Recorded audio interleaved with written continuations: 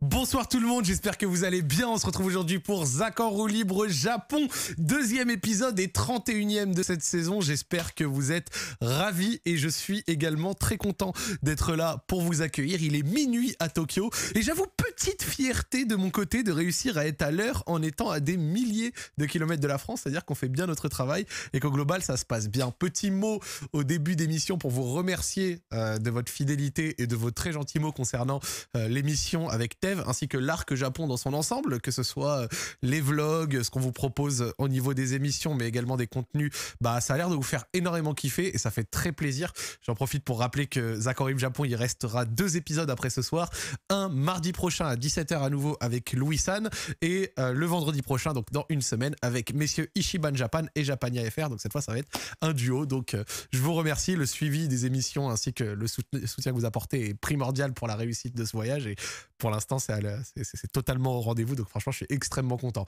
Il est minuit. On a passé une très belle journée aujourd'hui avec l'invité du soir qu'on a rejoint et qui a accepté de venir dans l'émission. C'est un invité qui vient pour la troisième fois. C'est la première fois que je reçois quelqu'un trois fois parce qu'il est venu à la première saison lorsque j'ai été chez Eclipsia en 2017, la 2010, euh, en 2019 lors de la troisième saison dès que je faisais ça chez nos amis de Le Stream, RIP. Hein. Et là, aujourd'hui, nous sommes en perso. La première personne qui passe pour la troisième fois, monsieur Corentin Gotaga, comment vas-tu? Bah ça va super, euh, coucou tout le monde, euh, on est en direct du Japon, c'est vrai que... Bordel, ça fait 13 ans du coup que, comme tu me disais juste avant, ça me choque un petit peu qu'on se connaît. et ça, ça me vieillit un petit peu de dire que ça fait la troisième fois que je passe. J'ai l'impression que je suis un forceur euh, à chaque fois en mode euh, ouais Zach je vais repasser dans ton émission machin etc non mais en tout cas ça me fait super plaisir euh, d'être là à tes côtés. Et puis et puis bah il y a plein de choses qui ont bougé dans ma vie la tienne aussi. Ok oui. Donc donc là on va en reparler aujourd'hui en direct du Japon. C'est trop cool. T'es à l'aise là? T'es en position du lotus? Ouais je suis en position du lotus mais moi je suis je suis flexible enfin je sais pas j'aime bien là moi je me dis tu vois là, avec Zach venez comme vous êtes voilà je me mets en position sais pas, j'ai pas envie d'être trop sérieux en mode. Euh, ah, mais y a pas de problème. Non, moi j'aime bien être en mode, euh, tu vois. Ça se voit. Là, t'es prêt à débuter. Ouais, je suis bien, je suis bien, je suis bien. Je vais essayer de pas leak parce qu'en ce moment, je, je lis beaucoup de choses. Je suis très content que le GP ait été annoncé. Euh, parce que, oh, c'était dur, hein. Oh, c'était dur de le garder. Surtout qu'on est que deux streamers, je crois, Magla et moi, à être au GP. Et quand t'es youtubeur, t'es pas là pendant trois jours, c'est pas grave, t'as pris de l'avance. Quand tu dois dire aux gens, sans leur dire de pourquoi c'est les gars, tournage pendant trois jours, vous ne savez pas du tout pourquoi c'est et je fais pas du tout d'allusion au GP Explorer. donc on sera absent pendant un peu plus de trois jours. C'est un peu compliqué, donc ouais, il y a eu des petits leaks de lâcher machin, etc. Je vais essayer de rien leak ce soir. Ouais. Et de tout garder euh, pour moi tout en donnant un peu de. on verra, on verra. Un petit peu à manger quand même. Ça se passe les entraînements? Ça se passe. Euh... Ah euh, ouais. Ça... Mais en fait, le truc c'est que j'ai vu l'annonce. Je suis pas. Je sais pas ce qu'il a annoncé véritablement. Ouais. Est-ce que dans le chat, ils peuvent, te, ils peuvent te dire, genre, les entraînements, il a dit que c'était où, par exemple, à Lucas? D'accord. Bon, ben voilà, typiquement, merci, ça va me permettre de pouvoir discuter. Parce que du coup, toi, c'est la deuxième année que tu le fais et on se doute quand même qu'une deuxième année, tu as dû prendre un peu plus tes aises déjà. Euh, bah, je prends un peu plus mes aises et puis c'est cool aussi, tous les nouveaux, tu vois, c'est des profils, je les connais tous, c'est trop cool de d'avoir. d'avoir. En fait, il a réussi à trouver un système pour que il y ait les anciens, il y ait les nouveaux, mais que les anciens soient pas forcément avantagés. Ok. Donc c'est pour ça, mais je sais pas ce qu'il a leak. Là ils disent Bouzy a déjà drop un, vlog sur plusieurs circuits. Ok, bah c'est bon, ok. Bon bah c'est pas moi qui leak au cas où. Le, le Mans, Val de Vienne, etc. Ok, donc ouais, on a fait. Euh, alors il y a eu trois entraînements en, tout. Moi le premier j'ai pas pu le faire parce que justement j'avais des trucs. Euh, euh, je sais plus ce que j'avais, mais je crois que j'avais des lundis, etc. Donc du coup je l'ai pas fait la première fois. C'était d'ailleurs le lundi avec Gilsey. Donc Gilsey a été, mais moi c'était impossible que j'y aille. Le... Enfin bref. et du coup cette année c'est mieux parce que c'est comment dire un peu plus taqué, c'est-à-dire que l'année dernière tu y allais en mode un jour tu finissais ton émission, je sais pas, un lundi euh, à 3h du mat, ou même, enfin, quand je dis 3h du mat, c'est que ça se finit à minuit, mais après mhm. tu parlais avec les invités, machin, etc. J'ai le souvenir d'une soirée avec Joyka. Où t'avais tardé un petit peu. On a refait le monde, tu vois, et euh, c'est trop cool, surtout quand les invités sont, sont, loin, tu vois, ils sont à Angers. Euh, quand ils viennent, on parle d'un peu de tout, tu vois, parce que bah, on se voit pas souvent. Et le lendemain, tu dois être du coup au Mans à, à lever 6 h Donc, tu as 2 heures de route, t'es en mode hmm, un peu compliqué. Ouais, un peu dur. Là, c'est en mode, tu vas un peu en mode colo. Tu vois, on y va tous en train, tous en bus, machin. Euh, et euh, on est tous. Euh, je sais pas, ça fait vraiment colonie de vacances. Ouais, ça se passe quoi. L'ambiance, elle est vraiment cool. Premier jour, c'est en mode voilà, on fait les cours, les machins, ils nous montrent le circuit. Deuxième jour, hop, trois séances le matin, trois séances l'après-midi, le lendemain pareil. Et tu vois, du coup, c'est un peu mieux. Il y, a, ce côté colonie de vacances et en même temps, ce côté où bah, c'est un peu moins. T'es un peu moins dans le rush, tu vois. Et normalement, avec un peu d'expérience, ça devrait mieux se passer pour toi. Ouais, bah l'année dernière, c'était un peu compliqué parce que justement, j'étais en pleine tu vois, Cam, c'est aussi pour ça qu'elle était pas au GP, parce que du coup, à ce moment-là, j'allais être papa. Euh, D'ailleurs, la couvade qu'on a toujours pas perdue. Hein, si vous comparez les trois accords livres, à chaque fois j'ai pris des kilos, les gars. hein, euh. C'est vrai qu'il y a eu 5 kilos qui sont ajoutés à À chaque fois. fois, à chaque fois, là, plus que 5, je vais pas mentir. euh. Mais voilà, excuse papa, couvade, les gars, vous inquiétez pas, on va essayer de se remettre en forme pour, pour le GP. Je rentrais plus dans, ma, dans mon truc de l'année dernière, pour te dire. Donc, euh, j'ai Ça dû fait mal un prendre une autre combinaison, mais je vais pas lire pourquoi, qui, enfin le nom de qui était derrière, parce que voilà, je sais pas ce qui va être annoncé, etc. à l'avenir. Mais, euh, mais ouais, faut que je me remette en forme. Là, j'ai un simu qui vient d'arriver, etc. Oh, On bien donner- ça. Ouais, on va se donner un peu plus les moyens. Parce que même, même là, je, je le dis, hein, mais pour venir au studio de Thèves, on a fait un petit 10 minutes de vélo. Ouais, tu dis mieux. Non, ça va, ça. Non, mais c'est pas pour dire que c'était galère, mais c'est pour dire que c'était agréable. Non, c'était agréable avec le vent, machin, etc. On était là dans les rues de, euh, de les gars de Tokyo. Enfin, genre, c'est insane. Je sais pas si vous vous rendez compte. On était là, il y avait personne. Mais quand je vous dis personne, on était quatre là sur nos vélos. Et euh, vraiment, tu sais, c'était ambiance pour ceux qu'on. Euh, genre, vous voyez un peu Initial D, les rues. euh, Ouais. Ouais, tu vois ce que je veux Ouais, dire ouais, total. Genre, il y a des espèces de garages limite ouverts avec des voitures. Bon, c'est pas la, pas, la Trueno 98, je sais plus comment Mhm. elle s'appelle dedans. Mais, euh, mais c'est vraiment cette ambiance-là. Et on était là avec nos vélos en train de. C'est trop cool. Trop, trop cool. Exceptionnel, exceptionnel, ça fait trop plaisir. Comment il s'est passé le voyage là? Parce que t'es arrivé il y a quelques jours, peut-être genre un jour après moi ou deux. Un peu décalé là, parce qu'il est minuit hein, chez nous encore, c'est Non, pas je vais facile. te hein. mentir, les gars. Là, je vous dis, c'est dur. Je vais peut-être galérer à trouver mes mots. Je vais peut-être. euh, vous voyez peut-être des cernes, etc. Mais, euh, mais ouais, moi, je suis encore jetlagué. Euh, surtout que de base, en France, je suis décalé. Du coup, je suis encore plus décalé. Je sais pas si Ouais, ce que je veux dire. ouais, ouais, ouais. Euh, donc là, c'est encore les premiers jours. Euh, quand j'ai compris qu'on allait tourner l'épisode pour 18h en France et que c'était minuit ici, j'étais en mode bordel. Tout à l'heure, j'ai voulu rentrer faire une sieste et non, je sais pas, c'était pas possible. Et du Non, coup, euh, et du coup, ouais, non, on- un peu jetlagué, mais pour l'instant, ça se passe bien. Tout à l'heure, on s'est fait un petit, euh, un petit resto au miel avec, euh, avec Zach et tout le monde, c'était cool. Petit resto sushi comme ça. Ouais, c'est ça. Et donc, il y a eu la digestion après. J'étais en mode, oh là là, ce soir, je vais pas assumer. Et puis, euh, et puis au final, on est là. Et je pense qu'avec la discussion, etc., ça va. ça va raviver la flamme. Tu connais, tu connais. Ah, bien va. sûr, je connais, monsieur, ça fait plaisir. Mais d'ailleurs, vas-y, pourquoi t'es au Japon à la base? Waouh, pourquoi on est au Japon? Alors de base, c'est euh, un peu un rêve de gosse parce que j'y suis jamais allé. Parce que tu sais, moi, les rares fois où je voyageais à l'époque, c'était les LAN, du coup. Euh, parce que ouais, je me suis pas présenté du coup pour, euh, pour ceux qui me découvrent peut-être. Euh, bienvenue, euh, je m'appelle Corentin Moussen, euh, Bah oui. ancien joueur professionnel sur Call of Duty. Il y a les précédents accords en libre si jamais où Ah j'étais ouais, un peu plus ma vie. C'était prévu ça pour le côté un peu début vie juste après. Ah ok, non, parce que j'étais en mode putain, ça se trouve, je l'ai oublié non, pas de problème, euh, pas de problème, t'inquiète, c'est prévu. Euh, mais voilà, et du coup, euh, bah avant, quand je, les rares voyages que je faisais, c'était souvent du coup pour les LAN, pour les compétitions qu'on faisait sur Call of Duty. Et du coup, bah, il n'y en avait pas au Japon, il n'y en avait pas dans les pays asiatiques. Non. Et euh, du coup, c'est ma première fois et je suis trop content. Donc, euh, comment c'est parti de base? Euh, Tu sais, sur ma chaîne, on a commencé les vlogs. Mhm.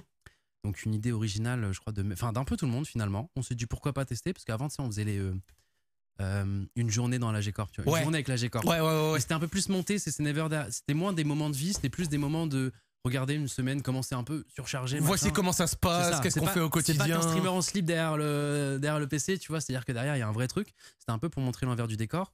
Et euh, du coup, là, c'est des vlogs un peu plus personnels où, en fait, la difficulté du truc, c'est que tu peux pas montrer vraiment ce que les gens font dans leur taf parce que, bah. euh, avoir Elise, Gotel, ouais, un budget de 100 millions pour Gotha, ouais, ouais, c'est ça, c'est ça. Vous voyez le vlog, on gagne beaucoup d'argent. Non, c'est pas ça. Alors, on a vendu tant de codes créateurs Fortnite. Non, mais pareil, tu vois, le, le taf de chacun est assez dur à montrer, à part peut-être la préparation des lundis. Bien sûr. Mais euh, ils arrivent du coup parce que c'est surtout mon équipe qui le fait. Euh, moi, finalement, je suis une des personnes qui apparaît le moins dans le vlog. tu C'est vois. vrai. Et euh, c'est un espèce de. Comment on appelle ça? Oh, J'ai perdu le mot. Tu vois, comme, euh, comme Better Call Saul par rapport à Breaking Bad. Oui, oui, oui, oui, un Euh, spin-off. Un spin-off, merci, ouais, j'avais perdu le. je suis là, Oh t'es frérot. fort, t'es fort. C'est un espèce de spin-off finalement de la G-Corp où du coup, euh, c'est un peu toute l'équipe qui, qui carry et tu vois un peu l'envers du décor. Et ils arrivent à, à créer plein de séquences, plein de trucs cool, etc. Là, par exemple, ils ont fait un truc là, le, le dernier vlog qui est sorti où ils ont sauté à l'élastique.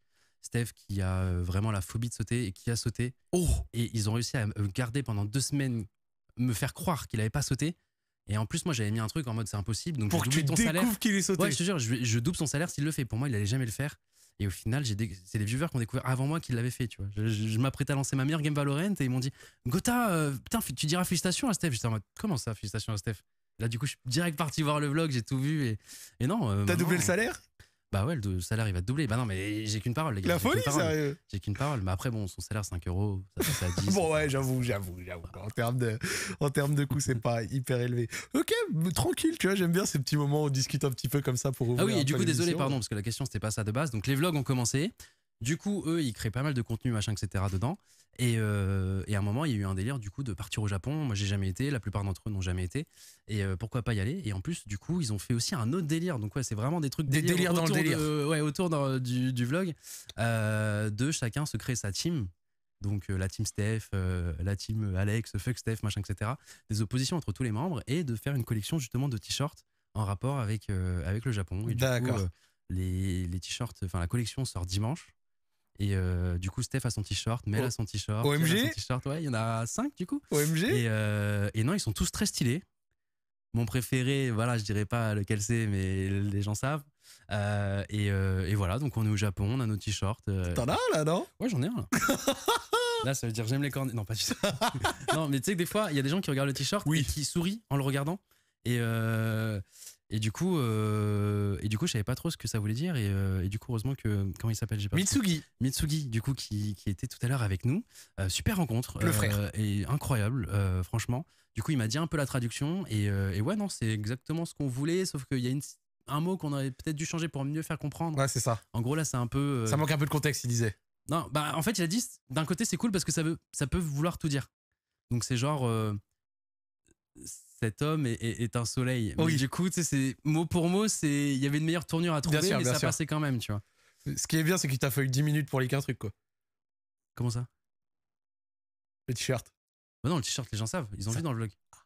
Attends, ils ont vu dans le Je pensais qu'il avait pas encore vu. Non, non, ils l'ont vu. On a même montré. Oh. C'est le dos qui est joli. Regardez ça. Le dos, le dos est vraiment.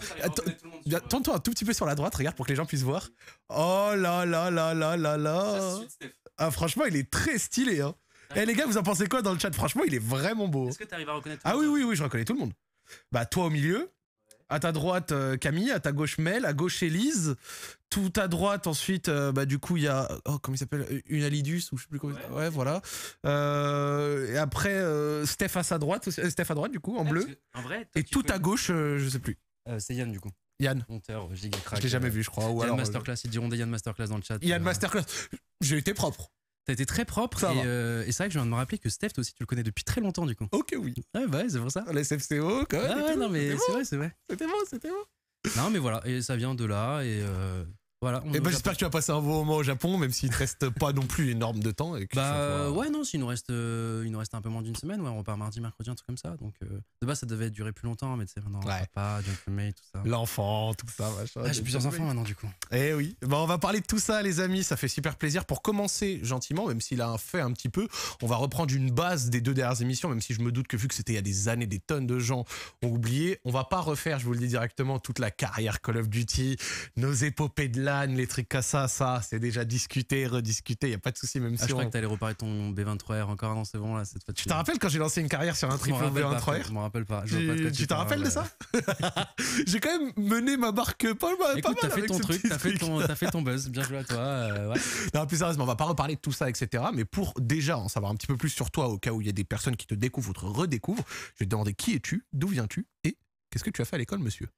Euh, Alors, je m'appelle Corentin Houssen, plus connu du coup sous le nom de Gotaga euh, sur internet. Euh, ma mère est bretonne, mon père est malgache. Euh, je suis français, du coup. j'ai à l'école du coup, de base j'étais un bon élève, puis après il y a eu la console, Call of Duty, tout ça. Je suis devenu un élève un peu moins bon, mais je savais pas trop quoi faire de ma vie plus tard. Donc mes parents m'ont dit va en S. Je suis parti en S et en quelques mois avant le bac, euh, j'étais un peu bête et je vous conseille de ne pas faire la même chose. Euh, j'ai vu que je devenais un peu moyen à l'école dans le côté euh, compétitif sur Call of Duty et du coup sur YouTube parce que j'avais commencé YouTube. J'ai décidé d'en sacrifier un et ça a été l'école. Ne reproduisez jamais ça, ok? Allez à l'école. Paradis, ok? Non, non, les gars, ça a bien marché pour moi, mais mais j'ai eu beaucoup de chance. Et, et du coup voilà, j'étais pro sur Call of Duty. J'ai commencé à faire du contenu sur Internet. Et euh, ça a commencé à bien marcher pour moi. Derrière, il y a eu Fortnite, il y a eu, des jeux un peu cool qui, qui m'ont un peu relancé. Et puis aujourd'hui, on a notre petite boîte, là, G-Corp, et, et, on fait notre petit bonhomme de chemin en faisant des émissions sur Twitch, euh, des vidéos YouTube, etc. Tu, jouais qu'à Call of Duty ou t'avais d'autres jeux peut-être à cette époque-là? Genre des jeux de posséder ou quoi? De quoi, à quelle époque? Genre à l'époque ou quand t'étais plus jeune? Plus jeune, bah, le truc c'est que Call of Duty, je suis tombé dedans très vite, hein, Call of Duty 2, donc forcément, du coup, on a bien spam. Après, bah, j'ai eu les Ghost Recon, j'ai eu les Gears of War, j'ai toujours très aimé les jeux où euh, tu t'es toi contre d'autres adversaires, tu vois. Un peu moins les jeux solo. Il y a, toujours, il y a quand même eu les petits Final Fantasy par-ci par-là. Ouais, c'est ce que j'allais dire. T'as fait quand même du Final Fantasy. Fait, mais j'ai l'impression d'avoir quand même loupé un peu mon enfance, tu vois. Du coup, j'ai pas eu les Dofus, j'ai pas eu les. Tu sais, tous ces jeux. Ouais, je me demandais si t'avais joué à des jeux de posséder, genre WoW, des non, trucs comme justement, c'est pour ça. D'un côté, je suis content parce que grâce à ça, ou à cause de ça, j'en suis là aujourd'hui où j'en suis, tu vois, donc je suis content.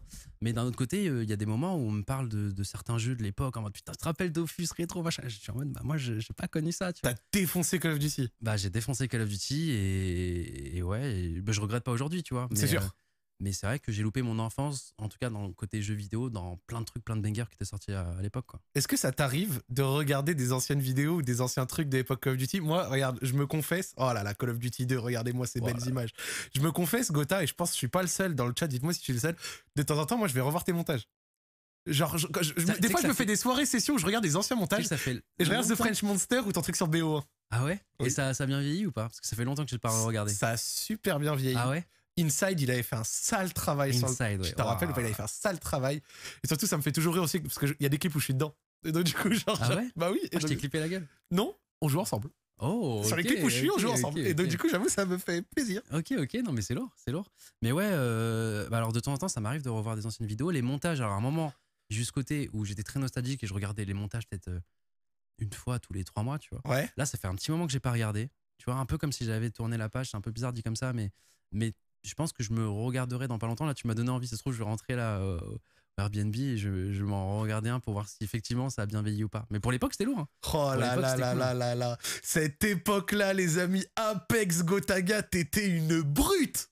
Vraiment, t'étais une brute. Frérot, petit Scampy là qui vient de mourir. Bah oui, vraiment, t'étais une. Il vient d'arrêter sa carrière à l'instant. C'est-à-dire qu'il y a des joueurs dans cette... actuellement dans ce montage, des gars qui étaient encore actifs, qu'ils sont peut-être encore aujourd'hui. Euh, il y a tout, il y a Monsieur Elsie. Bah oui, Lucas Douviz.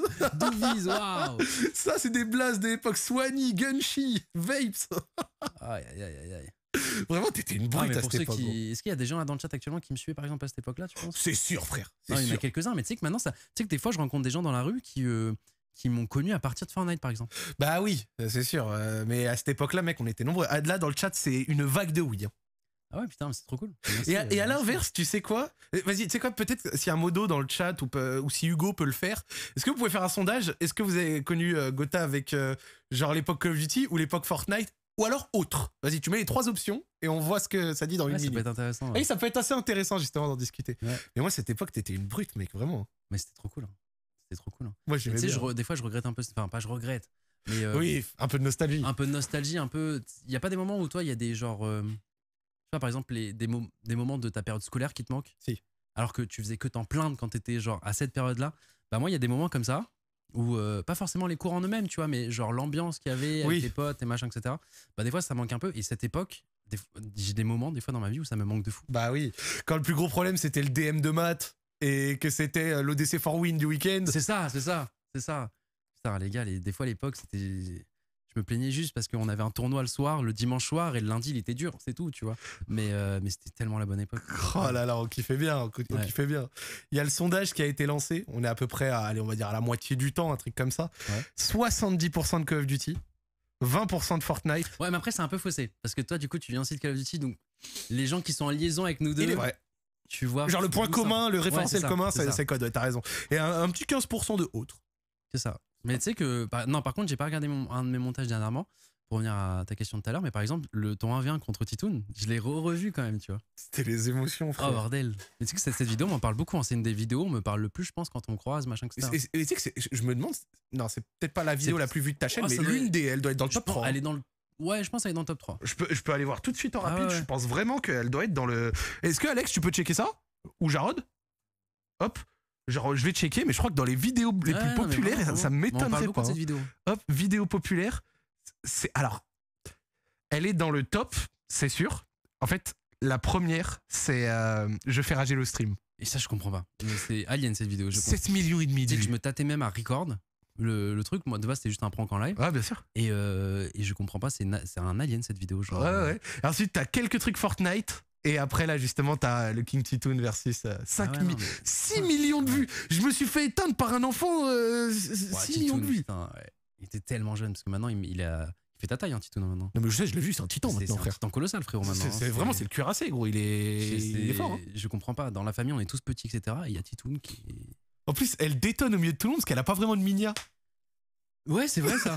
mais c'est là que tu vois que c'est vraiment l'époque. Tu vois, tu, tu, vois toutes les vidéos 3 ans, 5 ans pour la plus vieille de, de Fortnite, tu vois, qui a quand même une minia.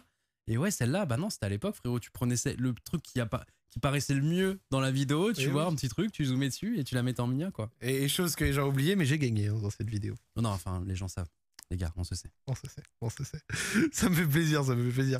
Lors de ton deuxième passage, euh, le 21 octobre 2019, déjà à l'époque, les amis, donc c'était il y a trois ans et demi, on s'était quitté sur Ouais. le Gotaga on Tour. Donc c'était l'époque où tu avais fait cette grande tournée, etc., où tu avais rencontré des gens, fait des choses dans des salles, les streams, etc. Ouais, C'était lourd. Et ouais, ça avait l'air lourd, qui avait un peu marqué la fin de ton aventure sur Fortnite. Avec du recul, comment est-ce que tu vois cet arc, euh, cet arc Fortnite que tu as eu? Qu'est-ce que ça t'a apporté? Qu'est-ce que ça a un peu changé pour toi dans ta vie? Ah, ça a changé énormément de choses, hein, je vais pas mentir. hein. C'est-à-dire que, en fait, des fois, des gens m'en veulent parce que je parlais de Fortnite en mal, en mode je préfère à l'époque, ou j'y joue plus parce que je. Soit je vais dire des mots genre en mode il est nul ou j'en sais rien. Et des fois, des gens vont m'en vouloir parce qu'en mode je crache dans la soupe, mais pas du tout, tu vois. Je sais que le jeu m'a apporté énormément. Euh, j'ai eu de la chance, j'ai l'impression que ma carrière, j'ai énormément de chance dans tout ce que. Parce que tu vois, Fortnite, ça a bien marché pour moi parce que j'étais dans les précurseurs. C'est-à-dire que je jouais au jeu quand les gens me disaient euh, FDP, Gotha, retourne sur H1, retourne sur PUBG, genre en mode le jeu est nul, tu vois. Ouais, Et moi, bah, tu sais, tu me connais, genre, euh, quand j'aime bien un jeu, qui fasse euh, 10 000 viewers ou. Je m'en fous, je vais le spam. Et du coup, j'ai spammé Fortnite parce que le jeu était super intéressant. Et, euh, et du coup, le fait que j'ai un peu de l'avance sur les autres a fait que euh, j'ai eu beaucoup de gens qui m'ont suivi dessus, qui m'ont découvert dessus. Et Mhm. ouais, ça a été insane. C'est, du coup, ça a été un peu euh, bah, l'initiateur de tous les projets qui ont suivi derrière. Donc, il y a les plus gros comme le Gotaga Show et, et la tournée, comme, comme tu disais juste avant. Mais même les plus petits, tu vois, les émissions du lundi maintenant qu'on a tout le temps, bah, c'est grâce à Fortnite que ça a vu le jour, tu vois c'est vrai. clairement, et euh, qu'on a pu se professionnaliser, que on a pu même euh, débloquer des budgets beaucoup plus gros, que j'ai pu, pu plus m'entourer aussi, Bien sûr. Euh, parce que bah à l'époque de Call of Duty et de Fortnite après, c'était pas non plus les mêmes sommes, c'était plus les mêmes nombres de viewers, le même nombre de vues. Ah bah c'est sûr. rappelle à chaque match de Fortnite, je faisais une vidéo. Euh, j'étais pas le meilleur, tu vois, mais je me débrouillais sur le jeu. Tu T'étais fort, gros, t'étais fort. Ouais, t'étais pas mais- le meilleur, c'est vrai, mais t'étais fort. non mais moi je connaissais, je voulais pas me faire avoir par. euh, tu vois, c'est comme quand je suis arrivé sur à l'époque de Call of Duty, Oui. les gens étaient en mode Diablo X9 c'est le meilleur. Oui. Et je suis arrivé en mode. Ouais, bah en fait, regardez, ça c'est la partie compétitive. euh, Vos youtubeurs sont éclatés, les gars. Tu vois, genre, euh, grosso modo, tu vois, je l'ai fait en. euh, mais, euh, mais du coup, sur Fortnite, j'ai directement dit les termes en mode, les gars, il y a des Kinstars, il y a plein de pros, ils m'explosent, d'accord Je peux.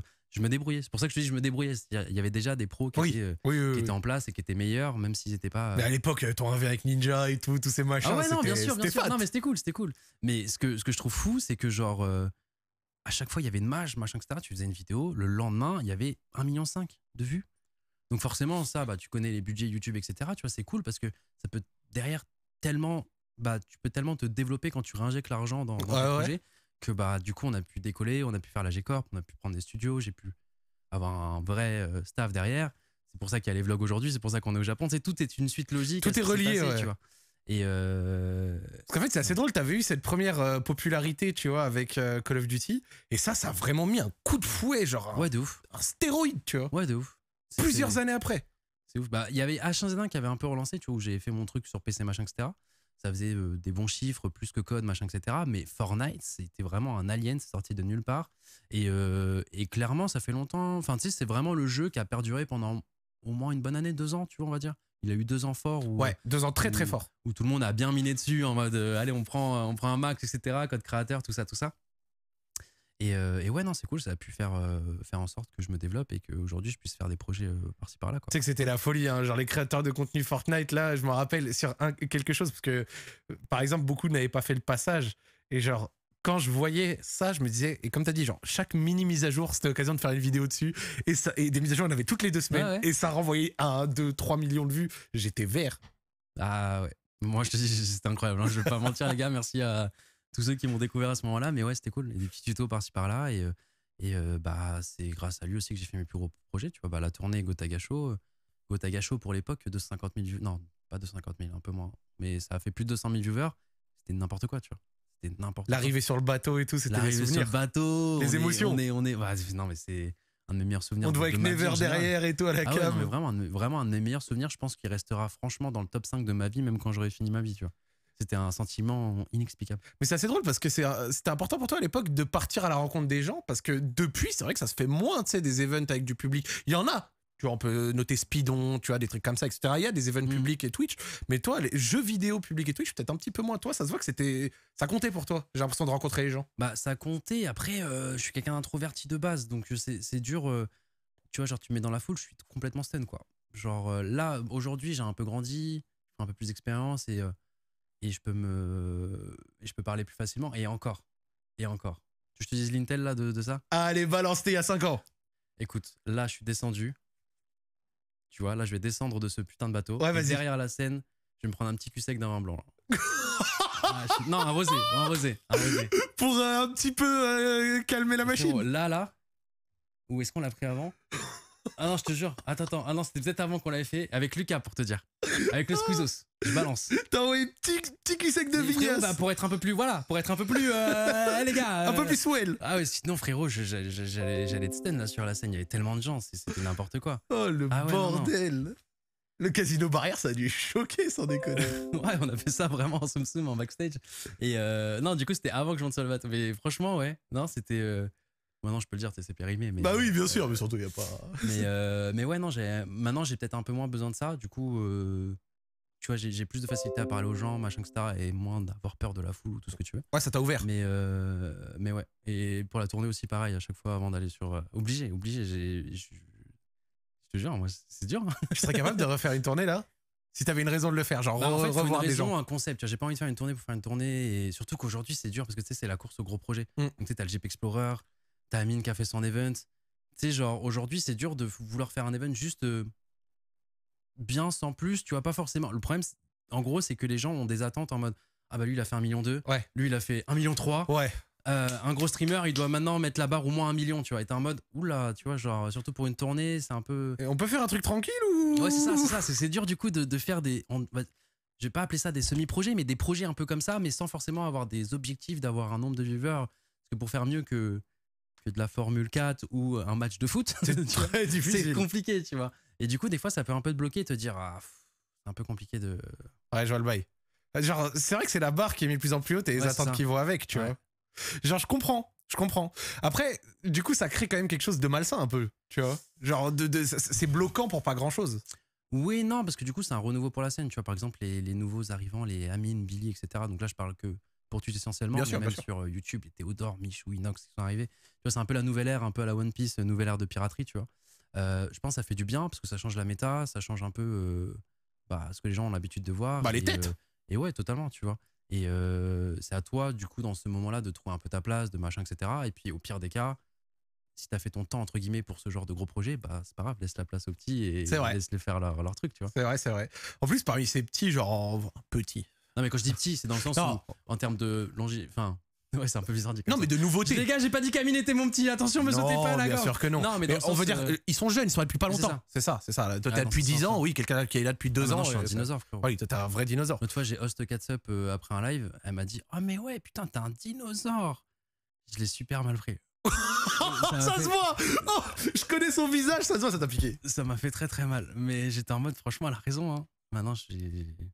T'es un, t'es un Et- Yorko. Bah, parce qu'en fait, pour moi, il y avait déjà des dinosaures sur Twitch. tu Bah oui, bien sûr. Et bien ça y est, maintenant, j'ai rejoint la. Attends, attends, attends, petite pause. C'est qui tes dinosaures Non, mais dinosaures dans le sens où, genre, euh, j'avais un, tu sais, un peu des modèles, slash euh, des gens qui euh, étaient déjà sur la plateforme Twitch depuis, genre, MV, Bien sûr. Zerator, Bien etc. Tu vois, dans ce sens-là. des Ouais, ouais, dinosaures. ouais, bien entendu, bien entendu. Ils étaient plus anciens que moi sur la plateforme Twitch, mais euh, du coup, bah, maintenant, je, je fais partie de. de- C'est vrai qu'en vrai qu'en sensation Twitch récente, il y a eu Amine et Billy, puis il y a eu, on peut dire qui, genre Maxime et Grim Cujo, des trucs comme ça, ouais, des par exemple, jeunes. ils cassent les couilles à stream le lundi, eux, hein, putain, ils sont chiants. Ah, ils te font chier, hein. Ils t'ont mis un programme en face. Non, mais en vrai, en vrai, actuellement, en fait, euh, même, je parle aussi d'eux quand je dis euh, faut laisser aussi la place maintenant aux, aux plus jeunes, enfin, aux- à ceux qui sont. Parce que moi, actuellement, tu vois, l'émission Zen de Maxime Biagui, pour moi, c'est la meilleure. Ça me fait chier de le dire parce que c'est le lundi, Ouais. mais c'est pour moi la meilleure émission Twitch de loin sur Twitch là, actuellement. C'est genre ce qu'ils font, les happenings, euh, les trucs qu'ils arrivent à faire, les invités. Ils ont réussi à, à relancer la e-rep de Kev Adams pendant un temps. Je sais pas si tu te rends compte. de- C'est ouf, hein. Non, mais Ah, ça, dingue. là, c'était les 12 travaux d'Hercule. Ça n'a pas duré longtemps, mais c'était les Mais 12 ouais, travaux d'Hercule. mais voilà, c'est genre. euh, non, actuellement, ils sont très très forts. Moi, je, je regarde les replays après mes émissions euh, le soir, vraiment, parce que genre l'émission est vraiment bien. Ah, c'est bien ça. Ouais. Ça, on pourrait se penser que de temps en temps, alors ça doit l'être de temps en temps à certains égards, mais qu'il pourrait y avoir une sorte de concurrence malsaine en mode. ouais, non, c'est pas mal ça, parce qu'en fait, on sait, en fait, on sait qu'ils sont là. Tu vois, des fois, on va finir une émission le lundi et Steph, il va me dire, euh, bah, il y avait Zen en face, ils ont fait ce nombre de viewers, et t'es en mode, bah, bah ouais, GG à eux, tu vois. Ouais, bravo. Genre, euh, moi, je fais plein de paris que j'arrête pas de gagner contre Maxime, où à chaque fois, il me dit, viens, on fait le pari. Celui qui perd, il, il- il change son, son Il créneau. change son créneau. Il perd tout le temps, il le change pas, je comprends pas. Maxime. Maxime, ouais, je comprends. Vraiment, hein, j'ai au moins gagné 10 Shifumi, 10, 10 défis. Max, il a pas de parole. Hein. Je sais pas, je sais pas, les gars, il veut pas changer. Maxime, il faut que tu corriges ça, il faut que tu non, corriges ça. au catch, hein, je sais pas comment ça va se finir. On, aime bien, on aime bien. Je pense que tu lui casses la gueule. Euh, à cette époque-là, quand on parlait un peu du, du Tour, pour revenir sur ça, tu jouais déjà un petit peu moins, tu vois, à Fortnite, euh, même pour les émissions Master Kill, etc. Tu avais commencé un peu à innover. Puis après, tu as réentamé une, une, transition à la fin de Fortnite sur Call of Duty. Un truc qui t'a remis sur la scène, c'est euh, Warzone. Warzone, ah ouais? Ouais. Alors, J'ai pas l'impression d'y avoir joué beaucoup pourtant. Franchement, t'as un peu dosé Warzone, mais juste avant ça, euh, à l'époque où t'avais arrêté Fortnite, c'était pour quelle raison?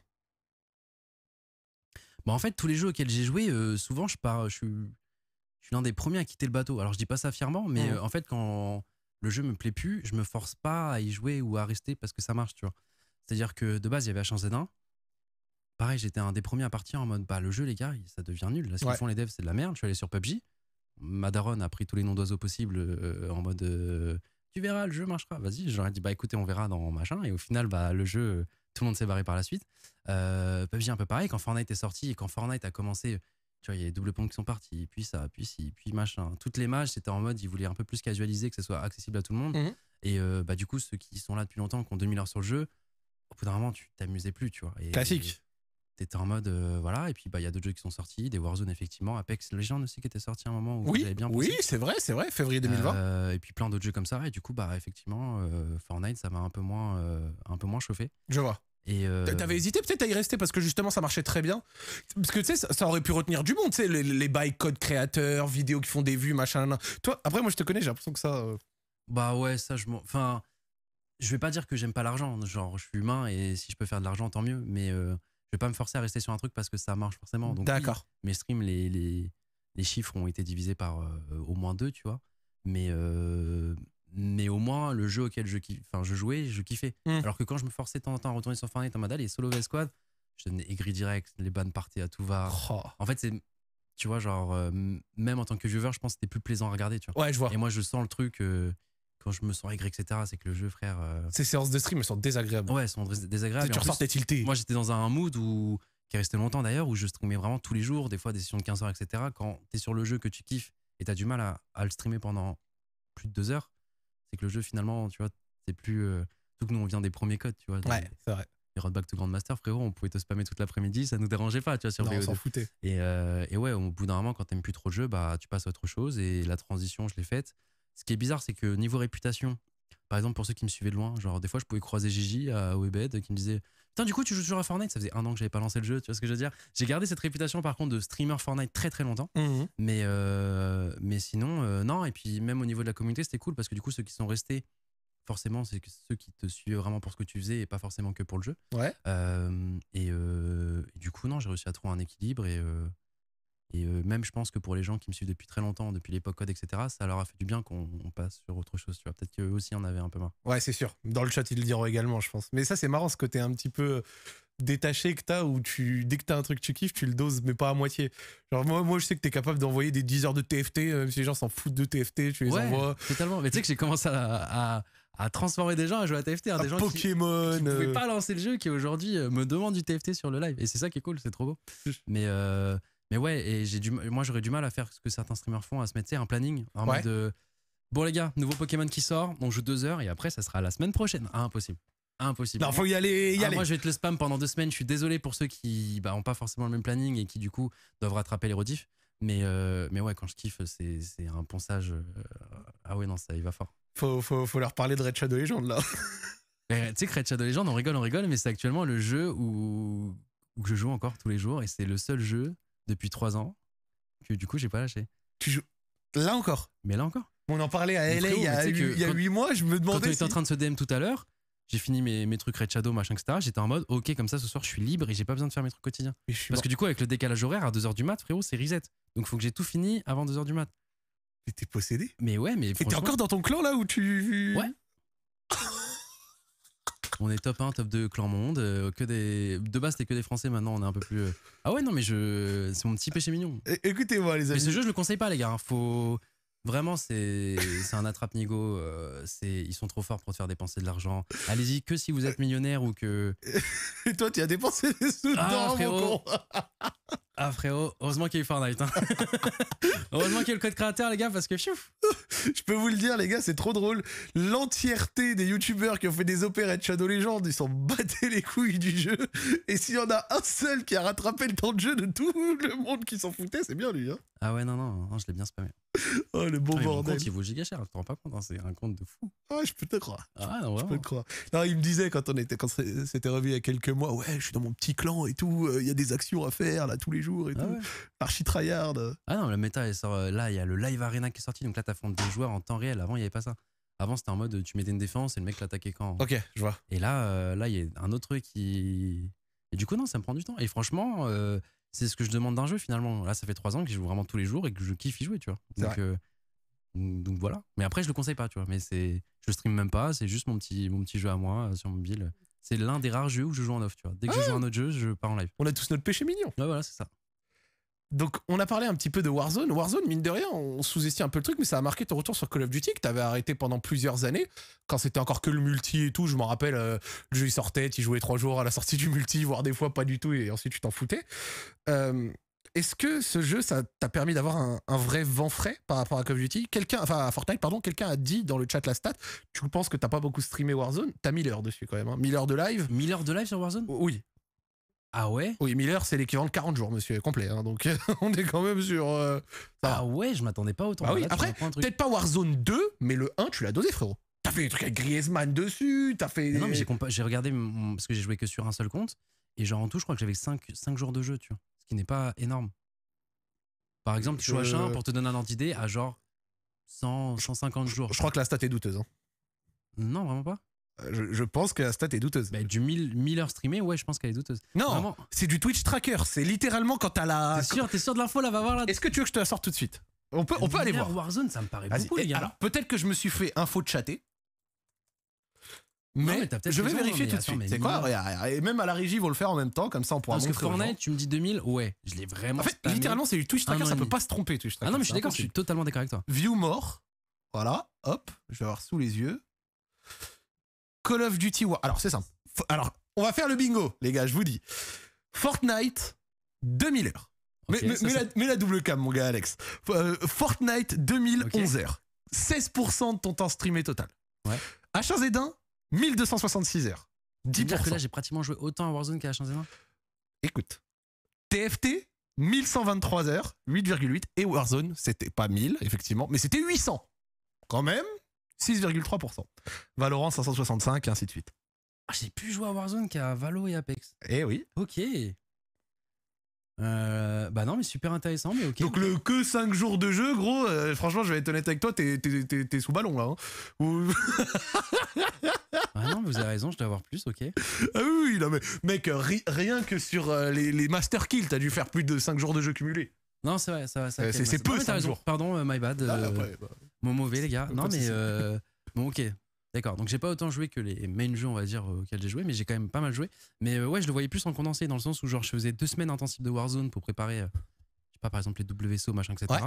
Et, euh, et, après, je rejouais plus au jeu pendant trois mois. Et en fait, je reprenais souvent quand il y avait un tournoi, un Twitch Rivals, un, truc qui arrivait. après, je pense effectivement, j'ai bien pensé au début. Je pense au début, les deux, trois premiers mois, je crois quand même que j'ai bien squatté. Tu m'étonnes. Et, et c'était trop bien en même temps. Hein. C'était trop, trop cool. Hein. Warzone. Au tout début, c'était cool, non? Ouais. Mais même vers la fin, après, il y a eu la résurgence qui arrivait. Donc, tu vois, j'étais pas aussi addict que, que, certains de mes compères euh, sur TeamSpeak comme Mystic euh, ou quoi, mais, euh, mais si de temps en temps, effectivement, j'avais des moments où je revenais sur le jeu et je spammais quand même pas mal. Le jeu était trop bien. T'étais content à l'époque de pouvoir reconnecter un peu avec Call of Duty, rejouer un peu à, la licence et tout? Totalement. Bah parce qu'en fait, le multijoueur, du coup, le SBMM. Grand débat. Ouais, grand débat, grand débat, on va pas le faire aujourd'hui. mais C'est de la merde. T'as joué avec Defiant d'ailleurs? Oui. T'as bien aimé? Oui. Ok. On en reparlera dans un autre. Il faut que XDefi en marche pour le bien des, joueurs. Clairement. Mais, euh, mais ouais, non, euh, ça a fait quand même un petit, un petit vent frais. Et puis euh, du coup, bah, du coup c'est tout ce que j'aimais Battle Royale et Call of Duty. Tu pouvais pas faire meilleur mélange, clairement. Et ouais, le jeu était trop bien, quoi. Donc, petit superstore et, et, ça partait, c'est de faire le plus gros nombre de kills. Puis après, du coup, il y a le SBMM qui est un peu arrivé. Au tout début, je crois qu'il était pas aussi fort. Hein. Mmh, non. Au tout début, c'était chill. Tu pouvais faire vraiment n'importe quel lobby. Puis au bout d'un moment, les lobbies devenaient un peu plus on va dire, euh, serré. Euh, donc ça allait quand même. Et puis après, il y a eu une espèce de méta un peu douteuse où on s'est fait un peu douiller à tous les tournois par les US, qui avaient compris quelques mois avant nous que tu pouvais mettre un VPN et ça faussait le SBMM. Et nous, on comprenait pas parce que, genre, des gens venaient sur notre chat en mode putain, vous faites que 50 kills, vous êtes nuls. Nous, on a su à tous les fights, on était en train de se revive de partout. Les games, frérot, tu jouais que des mecs qui avaient 3 de KD. Et euh, en face, t'avais des mecs qui partaient en quad tout seuls, des Nick Mers et tout. Donc, euh, j'ai rien à dire sur leur niveau, ils sont bons, tu vois. Mais pas au point de chacun aller faire 25 kills solo squad dans leur côté. Ils faisaient des games à 150 kills. Et t'étais en mode, mais comment ils font pour avoir un tel différentiel de, de lobby? Tu regardais leur game, les mecs tiraient tous à côté, tu vois. Et en gros, ils avaient trouvé ce système de VPN et tous les tournois, du coup. Euh, les WSO like et tout de l'époque, il y avait le VPN et ils nous ont douillé comme ça. Donc euh, tous les Américains ont surperformé à tous les premiers Twitch Rivals et tout ce que tu veux. Et euh, après, quand on a su ça, il y a eu cette nouvelle méta en Europe. Nous, bizarrement, dès qu'on a commencé à le mettre en Europe, on s'est fait insulter par toute la commune. C'est vrai. En mode, euh, mais vous avez pas honte? Alors que frérot, les US, ils ont full spammé ça pendant, pendant des mois et des mois. Et eux, c'était chill. Hein. C'était en mode limite leur commune qui leur disait hey, les gars, nouveau VPN, allez tester. Nous, vraiment, je comprends pas. Je sais pas si c'est mentalité française ou pas, si c'est tous les Européens ou uniquement les Français. Mais c'est vrai que c'était pas très bien vu. Et là, du coup, j'étais un peu en mode euh, bon, le problème, c'est que tu joues dans tes lobbies, euh, ça va pas. Tu joues sous les VPN, ça va pas pour les gens non plus. Tu sais, il y avait pas de juste. Ouais, après, les Américains, ils ont aussi ce côté divertissement. Genre, euh, je pense qu'il y en avait une ah, partie qui s'en battait les couilles tant ah, que. En fait, je veux dire, chez les viewers, pardon. En gros, eux, leurs streamers, les voir faire 40 kills, ils étaient contents. Et puis, il devait peut-être aussi y avoir le petit lot de critiques qu'on voit pas vraiment nous, tu vois. Ouais, je sais pas. C'est sûr, c'est sûr. Genre, il y a jamais un, une unanimité à 100%. il devait avoir 5, 10, 15% de gens qui marronnaient. on, on, avait l'impression qu'il y avait que nous qui étaient. Ouais, voilà, tu vois, c'est sûr. Genre, rien, rien ne fait l'unanimité, c'est sûr. Mais ce petit côté Warzone, euh, ça avait redonné un peu de boost quand même à la, licence. Ça avait redonné du boost à la licence. Euh, et puis même pour les émissions, ça avait redonné du boost parce que du coup, euh, tu sais, aujourd'hui, c'est d'ailleurs pour ça qu'on est parti sur un peu autre chose. On fait beaucoup d'autres plays, open world, etc. Parce qu'aujourd'hui, même les gens qu'on veut inviter dans nos émissions, plus personne joue. Alors qu'à l'époque de Warzone, on pouvait avoir le temps d'une soirée euh, Pierre Gasly, Charles Leclerc euh, qui se butaient à Warzone et, et, tu vois, on pouvait se faire une soirée cool tout en ayant du gaming et en même temps bah, parler un peu de ce qu'ils font, machin, etc. Et c'était super intéressant. Aujourd'hui, euh, bah, si tu veux avoir Charles Leclerc et Pierre Gasly, tu le feras pas sur du gaming parce que bah, ils jouent plus à Warzone, tu vois. Le, le 2, c'est comme là, tu vois, le double. C'est la première fois, je crois, que je refuse les WSO. Ouais. Parce que par exemple, j'étais invité au dernier et j'étais en mode, franchement, j'ai pas envie de jouer au jeu, tu vois. Et autant donner ma place à quelqu'un qui qui le mérite et qui dose. Qui mérite et qui dose le jeu plutôt que moi je prenne une place parce que je suis plus connu ou j'en sais rien, tu vois. Et euh, je pas spécialement regretté. C'est très intéressant ce que tu dis parce que Warzone, au final, à l'heure actuelle, est dans un état assez mauvais, on peut en discuter dans quelques instants. Mais quand il a fonctionné, il a pénétré toutes les couches. C'est-à-dire que moi, toi, t'as cité Gasly et Leclerc. Comment? Il a fait un peu l'effet Fortnite. Ouais, c'est ça. T'as parlé de Gasly et Leclerc à juste titre, mais euh, énormément de footballeurs aussi y jouaient, énormément d'étudiants, énormément de machins, vu qu'il était gratuit. Tout le monde, en tout cas une grosse, mais même dans pas tout le monde, mais énormément même de gens dans notre propre game, tu vois. C'est-à-dire que le temps d'une émission, je pouvais avoir euh, euh, Mister MV et Zerator qui jouaient à Fortnite, tu vois, qui n'étaient pas euh, rébus à y jouer. Alors qu'aujourd'hui, tu leur dis, petite soirée Fortnite, tu master kill. Je pense que Zera va être en mode frérot flemme, quoi. Oui, tu vois ce que je veux dire? Genre même dans notre propre game à nous, genre plus personne bah, joue à joue que ce soit à des Fortnite, à des Warzone, etc. Et d'un côté c'est un peu dommage, d'un autre côté c'est compréhensible. Je sais pas, je sais pas trop comment. En plus dans le chat ils ont raison, il y a aussi effectivement le côté un peu Covid de la ah, chose. le COVID, oui. oui. vous avez totalement. En fait il y a eu la période Covid qui a surboosté Call of Duty. Ouais, et vu que du coup tous les sportifs etc. Bah, c'est simple, soit ils jouent à FIFA, soit du coup ils tapaient l'armée en Warzone. Euh, c'était clairement ça les, les deux jeux spammés. C'est vrai que Warzone à ce moment-là les gars c'était vraiment incroyable. Non non, non t'as as raison, ce petit côté Covid là il a, il a beaucoup aidé. Et ce fameux Warzone 2 et l'état actuel euh, du game. Bah, c'est un peu compliqué parce que du coup, quand tu dis euh, moi je préférais un peu plus de fluidité, un peu plus de machin, etc., les gens te disent non, mais au pire, euh, barrez-vous du jeu. Euh, les mecs qui, qui jump de partout, quand c'est le slide de partout, machin, etc., on n'aime pas. Donc on dit ok aux gens. Moi, en tout cas, je vais jouer un petit peu, mais je sais que sur le long terme, j'aime bien les trucs très, très, très dynamiques, du gun and run, du machin, etc. Donc je sais que je vais aller sur d'autres jeux, tu vois. Et, et tu vois qu'au final, bah les personnes qui justement kiffent du coup la lenteur, machin, etc., ne sont pas assez nombreux pour que le jeu euh, fonctionne quand même. Ouais, perdure. Je sais pas comment dire. Genre que ça contente suffisamment de personnes pour que ce soit intéressant. aussi à avoir sur euh, le, le, fait de que du coup euh, les entre guillemets influenceurs soient contents, les enfin pas les influenceurs, les gens qui, qui suivent Call of Duty depuis super longtemps et qui jouent pour le côté réactif, le côté très dynamique, et ceux qui veulent justement un truc un peu plus réaliste, un peu plus posé, en fait, il faudrait réussir à trouver un mix des deux et, mmh. Euh, et, ouais, que les devs s'en foutent pas, quoi.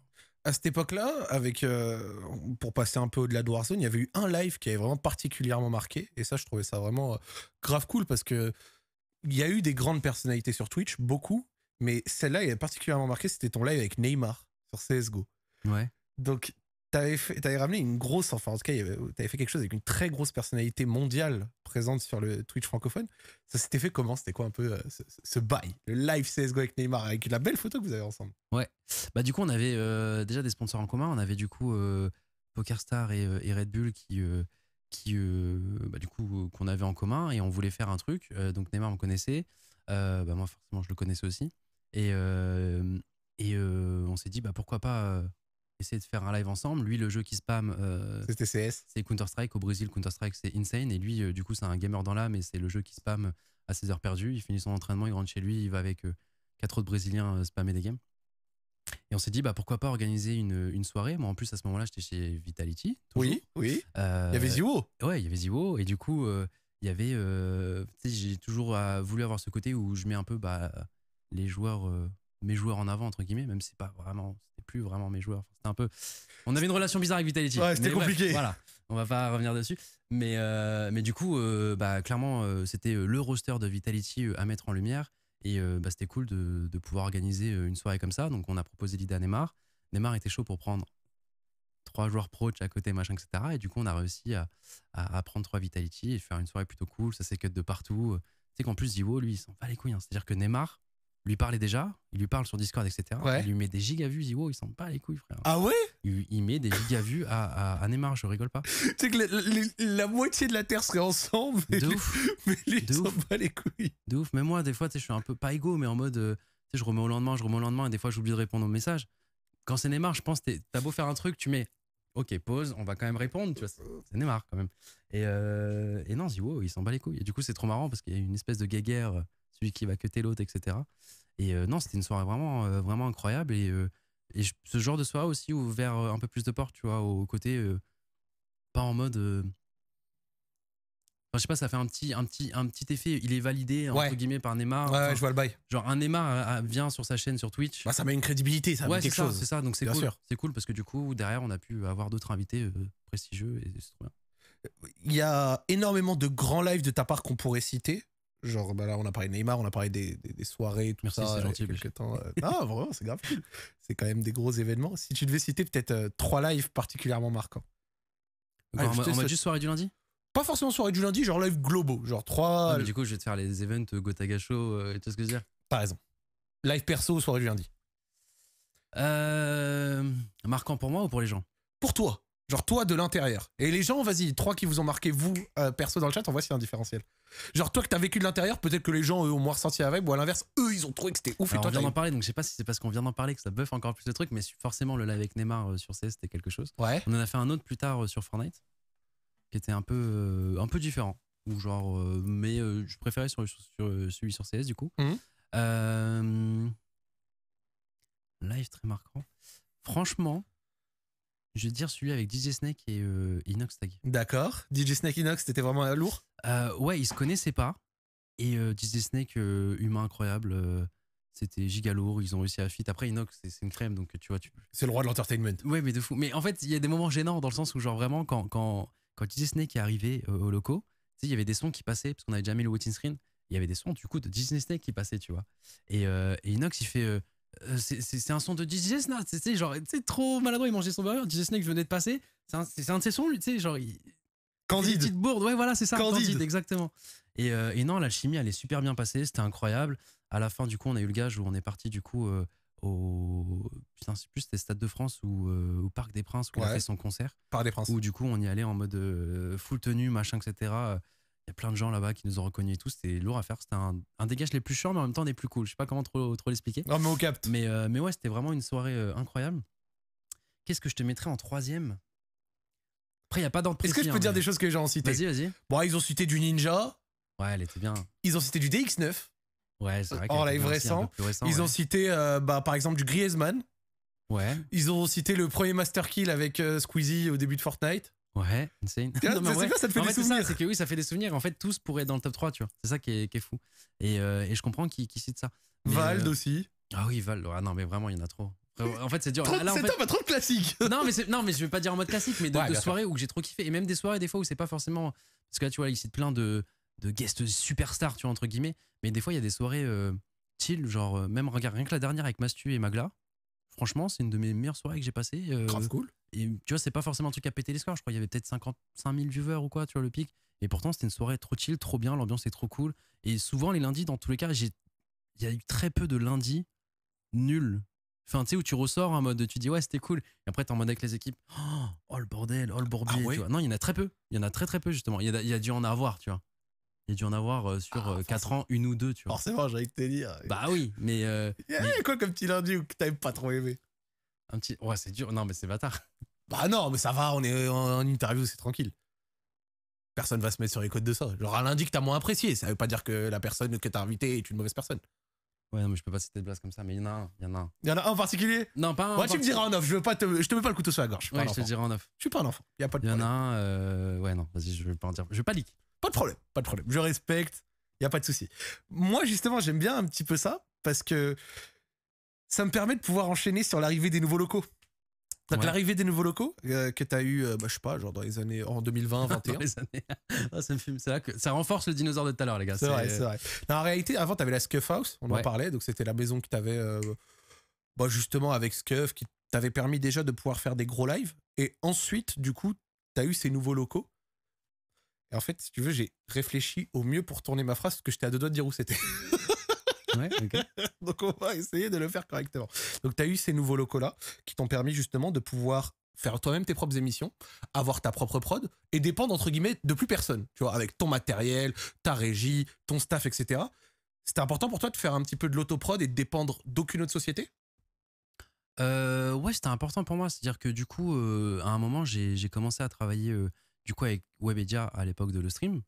Et euh, ils m'avaient fait une proposition un peu parachute doré où euh, du coup je leur appartenais entre guillemets, tu vois. Euh, où je montais entre guillemets ma boîte qui rachetait. Et en gros, euh, bah, j'aurais été Webedia, mais quand même mon propre truc, machin, etc. Donc Ouais. c'était cool, mais il y a des trucs de Webedia des fois qui, qui peuvent être un peu. on va dire qui me correspondent pas. Ok. On va dire ça comme ça plus simplement. Qui me Disons que t'aurais pas. pu faire le choix à un moment de te mettre tiens, ben, de lâcher une partie du navire, mais Ouais. du coup t'as préféré solo. Ouais, c'est ça. Et du coup, non, j'ai préféré un peu, euh, un peu à la Mugiwara, un peu faire mon, mon propre équipage, surtout que ça avait déjà été un peu formé, on commence à faire nos trucs. Et ouais, être totalement indépendant et faire nos choses. Donc ça nous empêche pas, attention, hein, quand je dis ça par rapport à Webedia, de temps en temps, on travaille ensemble, on Ouais, fait des bien sûr. trucs en, en collaboration et il n'y a pas de problème. Mais au moins, du coup, euh, du coup j'ai pu faire mon propre truc et euh, maintenant, on prod même des gens, on aide des gens à faire leur émission, des machins, etc. Et euh, surtout, on a bien grandi. hein. C'est-à-dire que les, au début, quand on est arrivé au locaux, dans l'open space, euh, on était peut-être trois. Maintenant, euh, c'est moi qui suis le moins là finalement. Ouais. Et euh, quand, quand j'y vais, c'est trop marrant parce que vraiment, les, les, les- genre, il y a, y a 10 bureaux, les 10 bureaux sont remplis, tu vois. Il y a vraiment 10 personnes physiques tous les jours qui viennent. Ah, il y a la petite vie qui se euh, fait sans toi. Ouais, c'est ça. Il y a la petite vie qui, de toute façon, quand tu, quand tu vois les vlogs, tu vois, euh, la petite vie se fait, se fait tout seul et, euh, et c'est incroyable. Et c'est vraiment un, un groupe de- d'amis, tu vois. Maintenant, c'est vraiment devenu un groupe d'amis et c'est d'ailleurs pour ça qu'on est au Japon ensemble. Si on, si on avait pu le faire, on aurait, tout le monde serait venu, machin, etc. Euh, mais, euh, mais non, c'est trop trop cool. Je voulais un peu ce côté indépendant, on fait nos propres choses, nos, nos propres choix. Et pour l'instant, ça tourne. Donc, euh, effectivement, il y a eu des Fortnite qui ont un peu boosté le truc et qui ont fait que les codes créateurs, etc., ont pu avancer plus vite qu'une, on va dire, société normale. Ouais, ouais, bien sûr. Et, et voilà, on fait nos, nos petits trucs. Donc pour l'instant, ça marche, donc on continuera. Si demain, bah, ça marche moins bien, je fais moins de stats. parce que forcément, en fait, aujourd'hui, je génère beaucoup d'argent, mais du coup, je- j'en dépense énormément du coup pour tout ça, tu vois, pour déléguer. Parce que moi aussi, en fait, ça me permet. euh, parce que je suis un feignant dans l'âme de base, tu vois. Et euh, Bah, de concentrer sur ce que tu fais de mieux. Ouais, c'est ça, c'est-à-dire qu'aujourd'hui, je peux faire un 15 heures de live euh, et je sais, derrière, j'ai totalement confiance à ceux qui sont derrière Ouais. et je sais que la baraque tourne, tu vois. Sans te Et demander si l'OPL est géré, si le papier est signé, si la vidéo YouTube va sortir. Exactement. À l'époque, c'était. J'avais besoin de voir des v, V12 pour valider la vidéo. Aujourd'hui, les yeux fermés, il y, a des- il y a du contenu qui sort sur ma chaîne. Des fois, je suis l'un des derniers à voir la vidéo, tu vois. Genre, euh, vraiment. Tu regardes plus les vidéos qui sortent sur ta chaîne? Je ne valide plus les vidéos qui sortent sur la chaîne. Je- Genre elles sortent et tu les regardes après coup. C'est ça, exactement. C'est ouf quand même d'arriver à ce niveau de confiance. Mais, hein. c'est, mais pour l'instant, il y a eu aucun fail, très peu de fail. Ok, Le seul fail qu'il y a eu, allez, raconte. ça a été le leak de Cam qui était enceinte. Parce que tu sais, ils ont réussi à garder les vlogs toutes les semaines. Ils ont réussi Avec à le garder. petit screen que t'avais mon- qui est sorti. Ouais, là ouais, c'est ça. Et, euh, et franchement, c'était léger, tu vois, ça restait sur quelques frames, tu vois, genre une seconde, deux secondes grand max. Et euh, même avec tous les invités qu'on avait lundi qui étaient dans le secret, même toi, je crois que t'étais passé un moment où Cam était déjà. T'es sûr? J'étais passé, mais on me l'a pas dit. Ah ouais, tu, tu l'as pas vu sur Cam Le moment où euh, Liana, non? Mais je te le dis, j'ai pas, pas de raison de mentir, je te jure, on me l'a pas dit. pas observateur. Non, mais oui, on me fait pas confiance. C'est vrai que tu, même tu suite à. Ouais, c'est vrai que Nani. Non, je rigole plus sérieusement, je pense que je devais être à un stade où, de toute façon, peu importe. Mais au-delà de ça, ce que je veux dire, c'est que du coup, c'est le seul fail. Euh, ouais, c'est. Dans, de ce que je pense, ouais, c'est le seul fail. Et honnêtement, euh, tout ce qui sort. Alors, je suis pas raccord avec tout. Tu vois, par exemple, euh, moi, les vlogs. En fait, le truc, c'est que moi, je consomme des, des choses très dynamiques, très rapides. Ouais. la team Xari, on regarde les vidéos en fois 2 machin, etc. Et ah par exemple, quand il y a des fois 1h20 de vidéo, moi, c'est des choses que j'ai du mal à consommer, même moi-même. Bien sûr. Et, euh, et par exemple, du coup, c'est sur ça qu'on va avoir discussion. Tu vois, je vais leur dire, tu vois, par exemple, la partie sandwich, parce que tu sais, j'en regarde souvent en live. Genre, cette partie-là, tu vois, si elle était un peu plus dynamique. ouais, ça manquait de rythme, ouais. Ouais, mais tu vois, c'est le côté un peu. Mais maintenant, aujourd'hui, c'est limite devenu tous des youtubeurs. Et même là, c'est eux qui m'embêtent, là, quand on est au Japon, en mode, ce serait bien qu'on fasse ce petit plan et hmm. tout, pour que machin, etc.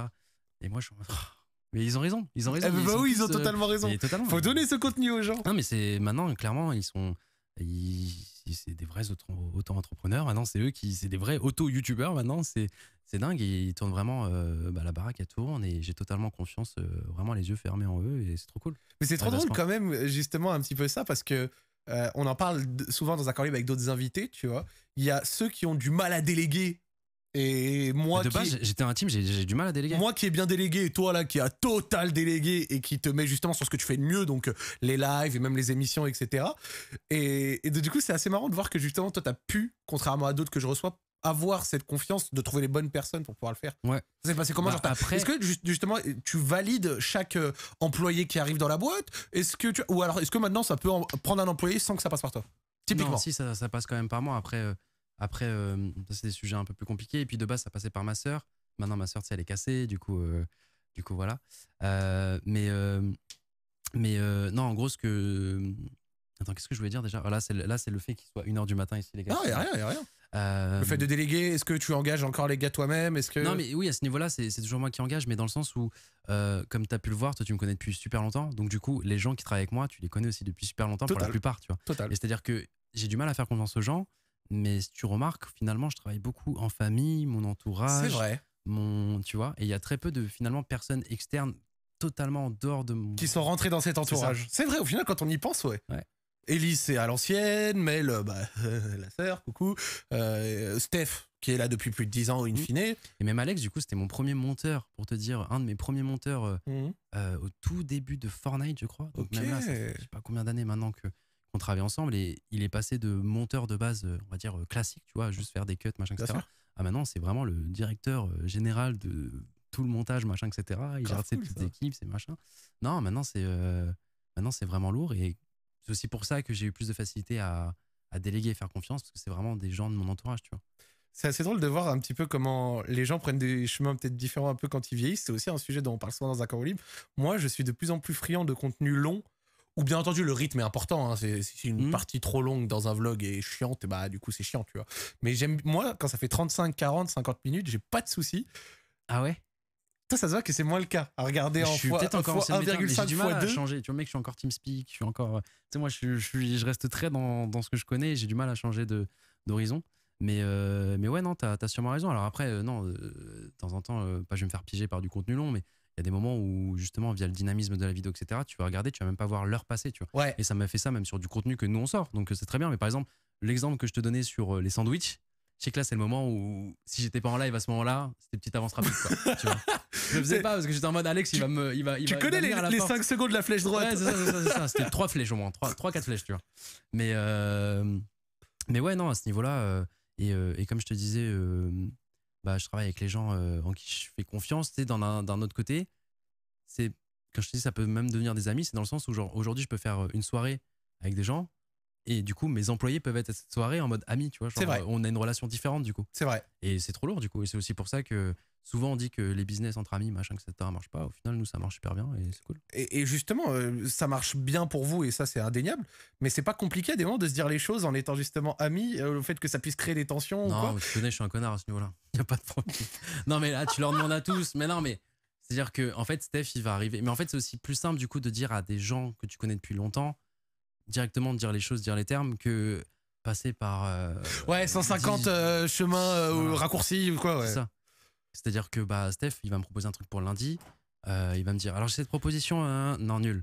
Euh, j'ai celle-là, non, celle-là éclaté, mon ref. Vraiment euh, nul, machin, etc. Je dis les raisons. donc Ouais, ouais, machin. mais, je vois le bail. mais beaucoup de gens n'y dire- arrivent pas, franchement. Et quand tu vas me dire une bonne idée, par contre, je vais dire là, c'est bien, celle-là, la au final, elle est cool. Mais maintenant, ils savent, tu vois. Et, et, et en vrai, ça marche. Après, oui, je pense que je suis pas le meilleur des patrons, clairement. Je suis pas le meilleur. euh, Ouais, bien sûr, bien sûr. Je pense que dans, dans, dans le côté humain, je suis pas la meilleure personne à ce niveau-là. Mais, euh, mais je pense qu'ils le comprennent et ils savent que voilà, on est. Parce que tu vois, moi, de mon expérience d'étudiant, Ouais. ce qui fait que beaucoup des projets d'étudiants, ils fail. Tu vois. Je parle, tu sais, des jeunes de 19, 20 ans, quand ils ouais. commencent à vouloir lancer un peu des choses, des fois à travailler entre potes. C'est souvent à ce moment-là, tu vois, que peut-être les premières idées entre potes, elles surgissent. C'est que du coup, les gens, ils ont du mal à se dire les choses. En étant proches, ils ont peur de perdre une amitié. Tu vois, genre, oh putain, je veux pas le vexer, ou machin. Et donc, du coup, ça crée des tensions. Et à la fin, de toute façon, ça finit toujours pas péter. Ou en tout cas, très souvent. Ouais. Vous, vous êtes, comme tu as dit, en vase clos, etc. Ça, dé- et vous arrivez quand même à, du coup, pouvoir vous dire. les- Parce que ça demande quand même un certain bagou, tu vois, de pouvoir, une certaine confiance mutuelle, de pouvoir se dire les choses sans le prendre personnellement. Genre, s'il dit que mon idée c'est de la merde, c'est pas parce que je pue, c'est parce que l'idée est pas cool, mais je le prends pas perso. Ah oui, ça, ils le savent aussi. Ils, ils savent que c'est pas euh, contre, contre eux personnellement, machin, etc. Et par contre, quand ce sera une idée bien, je le ferai bien savoir aussi que c'est une bonne idée, tu vois. Je serai pas non plus euh, nonchalant à ce niveau-là, parce que justement, je sais que je suis une horrible personne quand c'est nul. Donc, on, tu vois, on fait bien le contraire quand, quand c'est une très bonne idée. Mais euh, non, ce qui est dur à gérer, alors je pense que c'est pas pour moi, parce que j'ai un peu un côté autiste à ce niveau-là, dans le sens où j'arrive à bien prendre du recul, des fois un peu trop, et je suis pas trop normal à ce niveau-là. Euh, je pense que pour le plus dur, des fois, c'est par exemple pour ma sœur ou Cam. Ouais. Parce que du coup, j'ai des relations euh, différentes avec elle. Oui. Euh, logique. Euh, Mari, femme, frère, sœur. mais, mais du coup, par exemple, bah, imaginons que Cam, elle est, je sais pas, elle ait une embrouille avec Steph dans la journée. Tu vois, je te prends Steph au hasard, bien évidemment. Vraiment hasard. non, mais imaginons que ça se passe pas bien au boulot, etc. Elle apprend sur elle parce que du coup, je suis son patron, mais en même temps, du coup, je suis son copain. Donc en fait, si elle avait un problème au taf, normalement, elle en parlerait à son copain. Sauf que du coup, faut prendre un. Et, et moi, du coup, en plus, à ce niveau-là, tu vois, vraiment, j'ai un recul où vraiment, je pense pour Cam, je suis une horrible personne parce que du coup, je l'écoute en tant que copain, mais en même temps, je réponds en tant que patron, peut-être. tu peux pas. prendre la hauteur sur ça, ouais. Ouais, et du coup, euh, genre, euh, je pense à ce niveau-là, du coup, je suis pas un bon petit copain parce que du coup, je prendrais pas forcément sa défense. Ouais, je vois. plutôt en mode. Et T'essayes d'être objectif. J'essaie d'être objectif et du coup, ça peut des fois du, enfin, la casser parce que bah, dans ces moments-là où elle est en embrouille, normalement, toi, en tant que copain, même si elle a tort, de son côté, tu vois, c'est normal. Bien sûr. Et, euh, et du coup, c'est ça qui peut être un peu dur. Non, mais ça a l'air bien géré, donc en tout cas, franchement, euh, Ouais. propre, hein. Propre, propre. Non, c'est ah, intéressant de discuter un peu de ce côté un peu. Bah non, mais c'est ça le côté compliqué de, je pense, de la chose. euh, Dans, dans le côté de faire ça avec des gens de confiance qui sont vraiment dans ton entourage très proche. Des fois, ils sont tellement proches que là, actuellement, il y a une embrouille entre ma sœur et Cam pour le travail. Va choisir ton camp. difficile, difficile, difficile. Quelqu'un a demandé dans le chat, Jacques, Zach, il regarde jamais le chat Si, si, je regarde totalement le chat. Et, quand- et s'il y a une petite question, un petit point au fur et à mesure de l'émission qui est vraiment intéressant, n'hésitez pas, je le remonterai. Là, pour l'instant, vous avez vu, on discute. Mais en fait, vraiment, franchement, on, on pourrait couper la cam et discuter comme ça pendant 4 Ouais, de heures. fou, euh, on se connaît depuis très longtemps, donc c'est ça régale. Mais on vous voit, vous inquiétez pas, les frérots, j'ai un œil. Pas de problème. Gotha vous voit pas, parce que c'est important qu'il puisse être euh, dans le truc, mais vous inquiétez pas, je vous vois, tout roule. Euh, Il y a quelque chose dont je voulais parler, ça a été euh, l'évolution des émissions du lundi. Alors, tu nous l'as dit en préambule, l'émission du lundi, à l'époque, c'était très simple. Master Kill, Fautif, tous les concepts autour du gaming, avec justement, bah, du coup, Fortnite, Warzone, etc., machin. C'était très simple. Sauf que petit à petit, t'as dit un truc très intéressant, très intéressant, plus personne joue. Ou en tout cas, il y a, ils jouent, mais il n'y a pas de jeu qui rassemble tout le monde, tu vois. Donc du coup, ça a dû ouvrir des concepts comme par exemple Open World, de temps en temps des soirées moins centrées autour du jeu, plus de temps en temps autour de mini-jeux ou de discussions un peu. Comment vous avez développé ça? Comment vous avez dû faire face à ça? Euh, bah, c'est un peu euh, mon slash notre credo euh, bah, depuis qu'on a commencé. C'est que bah, vu que je suis un dinosaure, on est là depuis longtemps. Mhm. Et euh, bah, faut s'adapter si tu peux rester euh, un peu dans le game et je vais pas dire pas te faire dépasser parce que tu te fais toujours dépasser, mais dans le sens où genre. euh, Rester d'actu, quoi. Ouais, rester, re- re- rester un peu dans ça. Et, et du coup, le truc, c'est que bah, nous, on voulait vraiment garder ce lundi, même si c'était devenu un, un rendez-vous bah, du coup hebdomadaire pour la plupart des gens qui me suivaient. Et euh, bah, c'était un peu compliqué parce que bah, si les personnes qu'on voulait inviter ne jouaient pas à Fortnite ou Warzone, On fait un FIFA donc à un moment c'était cool, Covid, tout le monde jouait à Warzone, avant tout le monde jouait à Fortnite, et tu t'avais pas de difficulté à trouver des invités, etc. Il y a des moments, il y avait des invités qui nous disaient oui j'aimerais trop venir à ton émission, juste je ne joue pas et ça me fait un petit peu peur, donc j'avoue que je préfère venir une autre fois, euh, tu sais en mode il va jouer alors que pas du tout, on savait que c'était limite mort. Et, euh, et du coup c'était un peu relou, surtout qu'en plus nos émissions de base, c'était souvent, euh, en mode finalement open world, sauf qu'il y avait un contenu derrière. Ouais. Que on parlait beaucoup. Il y avait un support. Le gaming, c'était comme un support. C'est ça. C'est-à-dire quand on faisait un master kill, finalement, les games qu'on faisait étaient un support. Et l'essence même de l'émission, c'était de discuter, de s'intéresser à nos invités, leur actu, machin, etc. Et c'est ce qui donnait une alchimie, un espèce de mix qui rendait plutôt bien. Et, et du coup, bah là, on n'avait plus de support. Et c'était un peu compliqué, surtout que même là, aujourd'hui, du coup, on, est, on est parti sur bah, du coup d'autres horizons. Donc on s'est dit, bah oui, c'est trop cool de parler. Même les gens qui regardent aiment bien quand on parle. Ils préfèrent limite ça à quand on joue, tu vois. Mais par exemple, quand on va commencer un open world, on va parler avec les gens. En fait, le premier clic sera compliqué. C'est dans le sens où, genre, tu vois, t'es là un lundi, tu vois open world, tu vois des gens sur des canapes, t'es en mode oh, flemme, tu vois. Mais par contre, une fois que t'es dessus, la plupart de ceux qui viennent du coup regarder kiffent, ils restent, tu vois. Si, l'oreille s'accroche un petit peu. C'est ça, parce que du coup, souvent, ce sera des débats intéressants, machin, etc. Et tu verras euh, certaines personnes. Euh, dans un contexte différent. Tu vois, par exemple, Esteban euh, Ocon, tu le verras très rarement parler de toutes les Intel. L'autre fois, il nous a parlé qu'à tout moment, il y avait un mec qui pouvait lui envoyer un SMS et il devait pisser dans l'heure, il devait quitter l'émission. Bah, tu vois, c'est des, choses que les gens savent pas forcément. Mmh. Et du coup, tu ouais, donc ils se rendent pas compte, ouais. Ouais, c'est ça. C'est grave cool parce que vraiment, ça, c'est quelque chose que dans le chat, ils disent réel, ce que tu viens de raconter. Ouais. Qu'ils n'étaient pas forcément là pour le gameplay, qu'au début, c'est peut-être difficile à accrocher, mais qu'ensuite. Euh, ouais, mais c'est ça. Donc, euh, on essaie aussi de faire un play donc du coup, pas avoir le support jeu vidéo et en fait, finalement, faire un espèce d'open world où on parle de tout, euh, tout en ayant du coup une activité, tu ouais, un petit game. L'activité est un peu une excuse, même si des fois il y a des gages un peu farfelus qui, qui en ressortent. Mais, euh, mais voilà, il est un peu en, une excuse, donne des petits contents un peu en mode happening finalement. Mais euh, le, le principal focus du lundi, c'est de discuter et de s'intéresser un peu à tout. Et même là, par exemple, celui dont je te parlais avec Magla et, et Mastu le dernier lundi en date, avant qu'on parte au Japon, du coup, euh, dis-toi, au début, on a parlé pendant 2h30 sans bouger du canapé. Ouais, Et, euh, et c'était trop bien. Donc, du coup, je crois que sur YouTube, il y aura un open world du coup qui, qui s'est mis alors qu'il n'était pas du tout prévu, une autre partie play, tu vois. Et, et voilà, donc on s'est adapté à ce niveau-là où du coup, aujourd'hui, bah, on peut avoir des invités qui ne jouent plus. Par exemple, non, alors Mastu et Magla, c'est un mauvais exemple parce qu'eux jouent un petit peu. Euh, on peut avoir des invités très intéressants comme toi, par exemple, qui jouent toujours, ou même quand tu ne joues plus, t'es en mode ah bah, le temps d'un lundi, let's go. Oui, bah, bien sûr, bien tu sûr. Tu sais tenir une manette, tu je sais bouderai jamais pour. Euh, c'est ça. Mais au final, des cas comme toi, Zach, ils sont rares. Ah ouais? Bah oui, c'est rare. Moi, tu me dirais même euh, relance BO2. Euh, oui, mais je sais bien, mais justement, toi, t'es un cas rare. C'est-à-dire qu'aujourd'hui, avoir des invités qui jouent, c'est très très rare. Et du coup, surtout qu'en plus, sur Twitch, c'est devenu un peu une méta un peu plus React, un peu plus. c'est c'est un peu compliqué d'exister, mais on essaie de faire comme on peut. Et, et voilà, pour l'instant, ça satisfait la communauté qui nous regarde. Peut-être qu'au bout d'un moment, ça va totalement s'essouffler. Et euh, tant pis, tu vois, on fera soit autre chose, soit, euh, soit on continuera pour les audits. Quoi, D'ailleurs, la vidéo, elle est sortie à 5 heures. Hein. Ah ouais? Bah, par mes équipes, je ne suis pas au en fait, j'aime bien parce que ça, ça illustre exactement ce qu'on disait il y a 15 minutes, c'est magnifique. Totalement. Quelle, quelle importance il a Dwag au milieu de tout ça pour toi?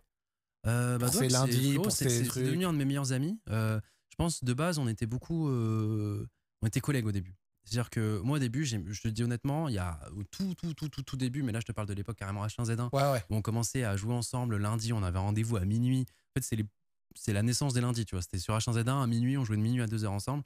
Euh, alors, je l'aimais bien. En gros, c'était un pote. C'était pas un ami encore. Genre, je le considérais un pote parce que du coup, c'est vrai qu'il était très business et qu'on a, et du coup, j'avais un petit blocage à ce niveau-là. Ouais. Et Lui était très pro, très machin. Ouais, c'est ça. Et au fur et à mesure, je trouve qu'il a bien changé. Et même un jour, je lui ai dit, hein, je lui ai dit, Dwag, euh, vous lui demanderez. Je lui ai dit, Dwag, euh, en fait, ton problème, c'est que t'as plein de potes, t'as pas d'amis. Ça fait mal, hein, mais euh, c'est un peu les relations que j'ai avec mes. Mais tu sais que ça, c'est le genre de punchline que Gotha est capable de te lancer à n'importe quel moment. Mais, je, mais je te hein. jure, je te jure, depuis ce jour, notre relation, elle a totalement changé. Et je te dis, ça, c'était il y a giga longtemps, les gars. Hein. Et, et, et c'est véridique parce qu'aujourd'hui, surtout dans, dans, le game qu'on fait, tu vois, tout le monde est un peu pote avec tout le monde, machin, etc. Mais c'est bien d'avoir des amis moi, je sais que demain, tu sais, j'ai une galère. Genre, euh, aujourd'hui, enfin, je sais pas, demain, euh, j'ai plus de viewers. Je sais que Zach, j'ai un problème. Je sais que c'est un ami. Vous voyez ce que je veux dire? Bien sûr. Euh, et du coup, c'est rare d'avoir ces relations-là, surtout dans un game où c'est quand même assez requin, assez machin. Et euh, Dwag a beaucoup changé à ce niveau-là. Et il s'est entouré de beaucoup plus d'amis. Et aujourd'hui, c'est devenu un de mes meilleurs amis. Et du coup, on fait nos émissions ensemble, etc. Donc, il y a des gens, des fois, qui n'aiment pas son profil, qui n'aiment pas Dwag. Et encore, je trouve que ça a beaucoup changé. Avant, il était très peu respecté en mode ça sert à rien, machin, etc. C'est le nulos, machin, etc. Et aujourd'hui, les gens se rendent compte de l'importance même qu'il a des lundis, que sans lui, ça aurait jamais fait euh, ce que les lundis ont fait, tu vois. Et, euh, et tu vois, c'est un peu un duo euh, tic tac en mode moi je suis un peu le gars réservé, tryhard, machin, etc. Et lui, du coup, le mec un peu plus fun, très justement extraverti, qui. Et du coup, je pense qu'il fallait les deux pour que ça marche. Bien sûr. Et, euh, ça a marché, donc euh, c'était cool. Et genre, ça se passe comment la préparation d'une émission avec lui? Genre, il prend beaucoup de leads, il fait beaucoup de, de, propositions? Ou alors, euh, genre, on vous donne les choses et après, c'est vous réadaptez Alors, les toutes premières émissions, au tout début, enfin, etc., il avait une place un peu plus, on va dire, imposante, c'est-à-dire dans le sens où il s'occupait un peu du lead, de machin, etc. Aujourd'hui, il s'occupe plus de ça du tout. C'est-à-dire qu'aujourd'hui, maintenant, c'est mes équipes, donc Steph, euh, Cam euh, principalement qui vont s'occuper. Bon, Cam un peu moins là dernièrement, mais de base c'était surtout euh, ces deux-là et du coup qui sont aidés de, bah, tout le reste des équipes, que ce soit Elise, Alex et tout. du coup pour pour la création du contenu du lundi et en gros bah deux heures avant, enfin du coup deux heures avant quand Dwag du coup sera là, s'il est là deux heures avant, hein, on se sait Dwag, bah du coup on lui expliquera un peu tout, machin, etc. Il aura ses fiches, il aura machin et vu qu'il est talentueux et qui c'est très bien host, il s'adaptera, il fera limite comme si c'est lui qui avait préparé le truc pendant une semaine. Mmh. Mais du coup, maintenant, euh, on a délégué, euh, enfin, maintenant, c'est un peu délégué à ce niveau-là pour que même lui, euh, tu vois, avant, il avait une pression un peu. Déjà que les gens, déjà, lui crachaient dessus pour un rien. Et en plus de ça, c'est lui qui s'occupait de toute la charge limite de l'émission pour qu'au final. donc voilà. Donc aujourd'hui, non, c'est plus du coup Steph et tout qui, qui s'occuperont des lundis. Et, et du coup, il y aura au préalable dans une conve est-ce que vous aimez bien ça, ces invités-là, machin, on pourrait faire ça, machin, etc. Donc là, il donnera son avis en mode ouais, ça c'est cool, on pourrait faire ça, machin, etc. Mais sinon, la préparation totale de l'émission, ce sera du coup les équipes En même temps, Dog est très fort dans ce qu'il fait. Bah, bah, aujourd'hui, maintenant, c'est devenu l'host incontournable. Hein. Maintenant, dans tous les events, tu le verras en mode host. Si t'as pas Dog, euh, frérot. Non, on l'aime bien, on l'aime bien, on l'aime bien. Dédicace, dédicace à Dog moi, il y a un truc euh, qui, me semblait vraiment cool dans, tout ça, avec euh, l'évolution également, bah, du coup, un petit peu des lundis et tout, c'est que tu as eu ton époque, genre big game, entre guillemets, on va dire, donc euh, Code, Fortnite, H1 et tout.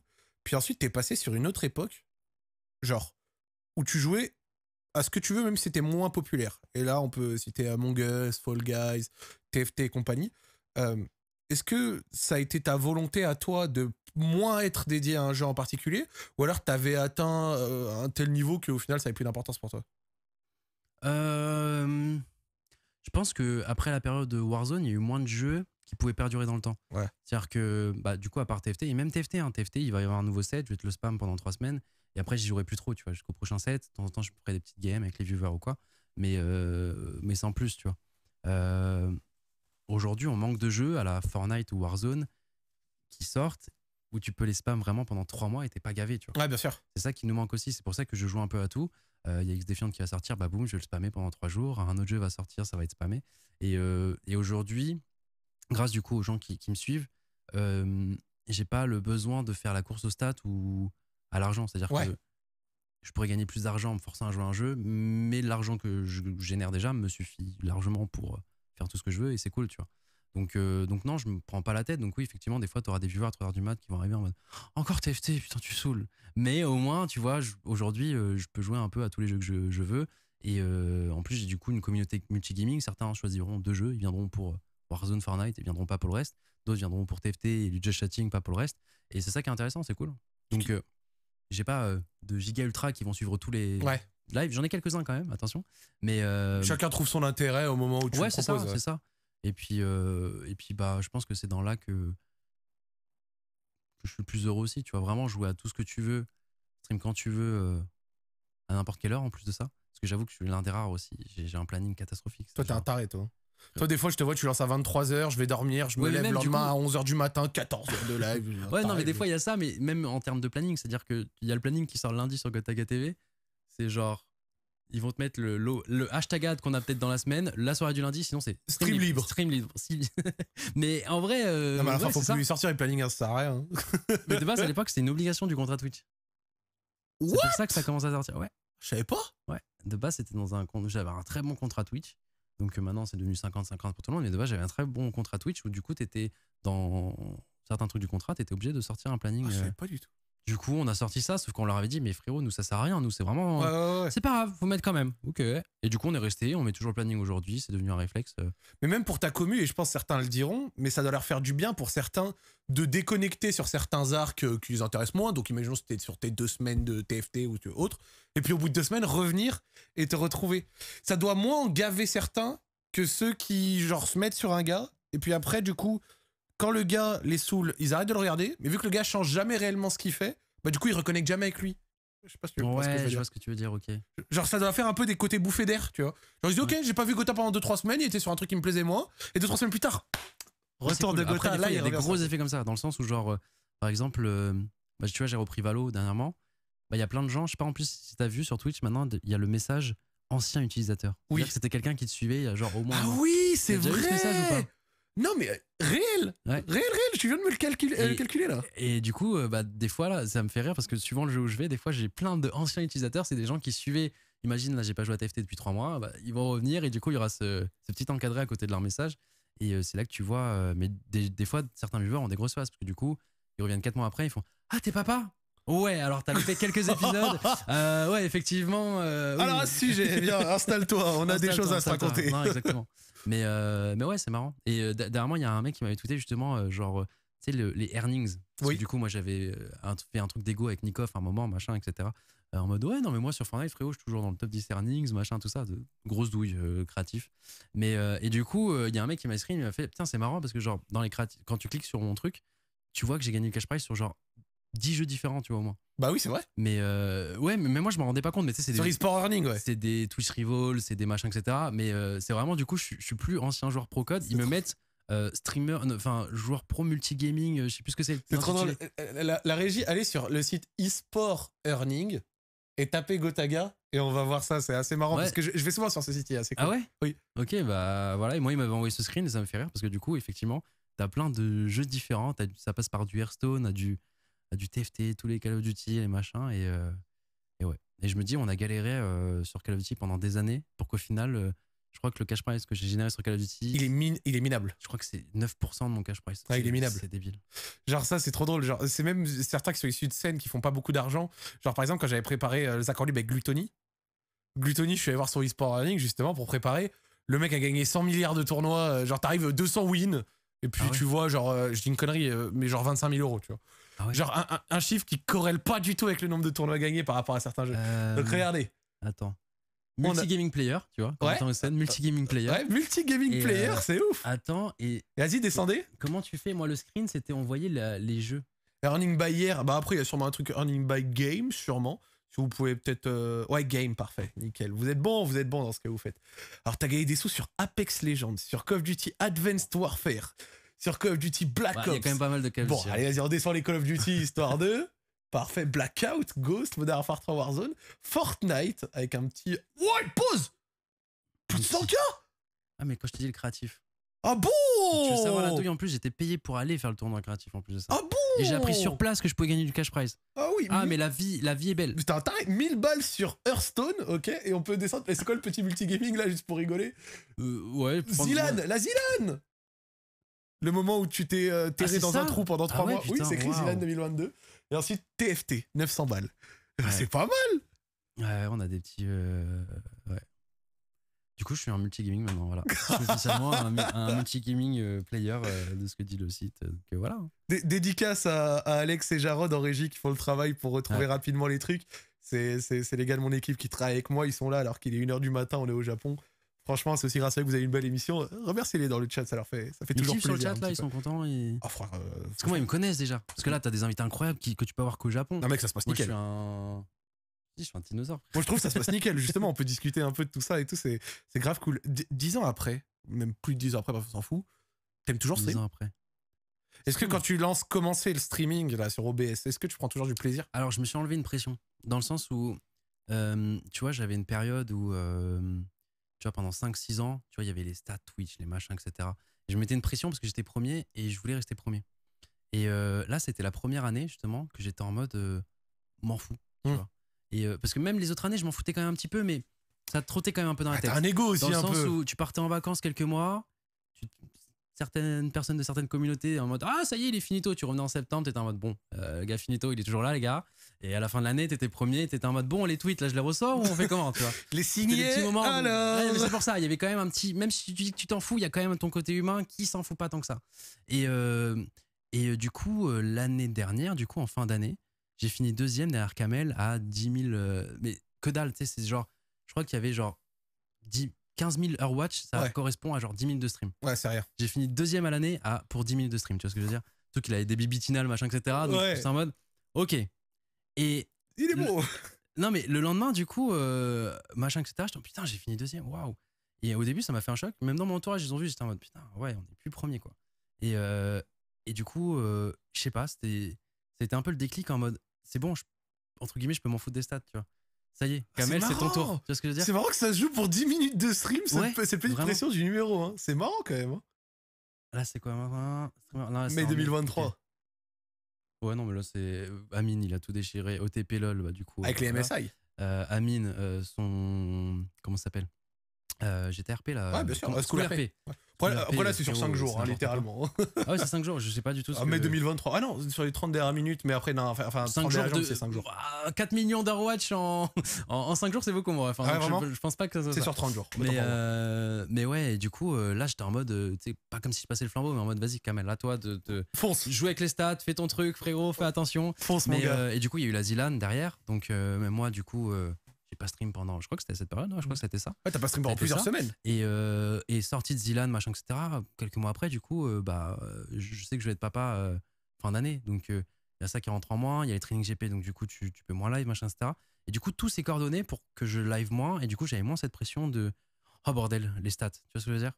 Donc, donc, non, j'ai pas fait une année sabbatique non plus, tu vois, mais c'était une année, on va dire chill, Mhm. où du coup j'ai beaucoup moins live, où quand je lançais un live, c'était vraiment parce que je voulais live et pas, euh, et pas parce que je voulais live, mais c'est quand même un peu pour les stats, tu vois. Donc, euh, donc du coup, non, il y a eu cette pression en moi et c'est vrai que du coup maintenant, euh, je me prends moins la tête avec ça et du coup, Je live vraiment quand j'ai envie de live, tu vois. Donc là, tu prends toujours du plaisir, du coup. Ouais. Mais du coup, je live un peu moins. Je live un peu moins et puis bah, maintenant, il y a des obligations aussi qui font que je live un peu moins. Mais, mais voilà, j'ai passé le flambeau. Maintenant, démerdez-vous avec cette pression-là, les gars, parce que vous vous rendez pas compte, hein, mais c'est une pression. Et je sais que Kamel l'a déjà eu, parce que je sais qu'on en a parlé, etc. Et, euh, ouais, c'est. Ça te bouffe un Pas ça te bouffe de l'intérieur, mais c'est. Ça reste dans un coin de ta tête. C'est ça, t'as l'impression que tu peux pas aller en vacances, t'as l'impression que tu peux pas machin, tu Oui. peux pas. Tu vois, genre, euh, c'est. Et vu que tout va trop vite, tu vois, surtout dans ce domaine-là, t'as as toujours l'impression que quelqu'un va te prendre ta place, tu vois. Et ouais, là, c'était une année où j'étais en mode, ok, non, c'est bon. Au pire, oui, il y aura moins de viewers, mais c'est pas grave. C'est fine. C'est. Voilà. Et, euh, et voilà. grave intéressant parce que c'est vrai qu'il y a toujours encore des mecs et ça et ça en plus euh, c'est assez marrant parce que genre en disant ça même si c'est réel on a la- euh, on demande pas la compassion des gens enfin il y a pas la compassion des gens et on n'arrachera pas de larmes de crocodile parce qu'il y a des gens qui ont genre des quotidiens beaucoup plus difficiles etc Ah non, c'est pas pour. euh, Ah non bien sûr bien sûr ouais. je- genre je dis ça comme ça justement parce qu'on sait ça mais ça montre que c'est quand même une réalité chez encore beaucoup de monde tu vois et moi l'exemple Mm. que je marque alors j'espère qu'il a changé en ce cas mais je sais qu'il avait beaucoup de mal à partir en vacances ou à partir de trois jours bah, c'est frérot Rayou le frérot Ouais. Rayou, lui, il a beaucoup de mal à déconnecter euh, quelques ça, hein. jours et tout, euh, en ayant, tu vois, comme si, genre, en déconnectant une semaine, genre, euh, oh, finito, tout le monde avait passé à à autre chose avec lui, tu vois. Bah en fait, et puis bah tu vois tous les nouveaux qui arrivent aussi, donc je pense que ça met aussi une, une pression en plus, en mode bah, putain, mais s'il y a les nouveaux, du coup, là, les gens, du coup, si moi je live pas, du coup, ils vont découvrir les nouveaux.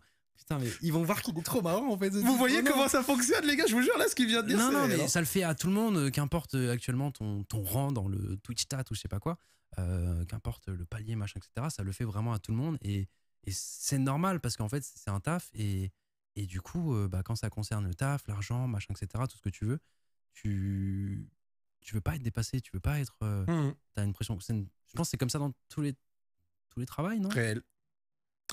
C'est un truc qui s'appelle, et il le disait dans le chat, genre le FOMO, tu vois, Fear of Missing Out, ils ont peur. euh, En général, Ouais. FOMO, genre, c'est plutôt sur les gens qui achètent euh, des trucs ou quoi.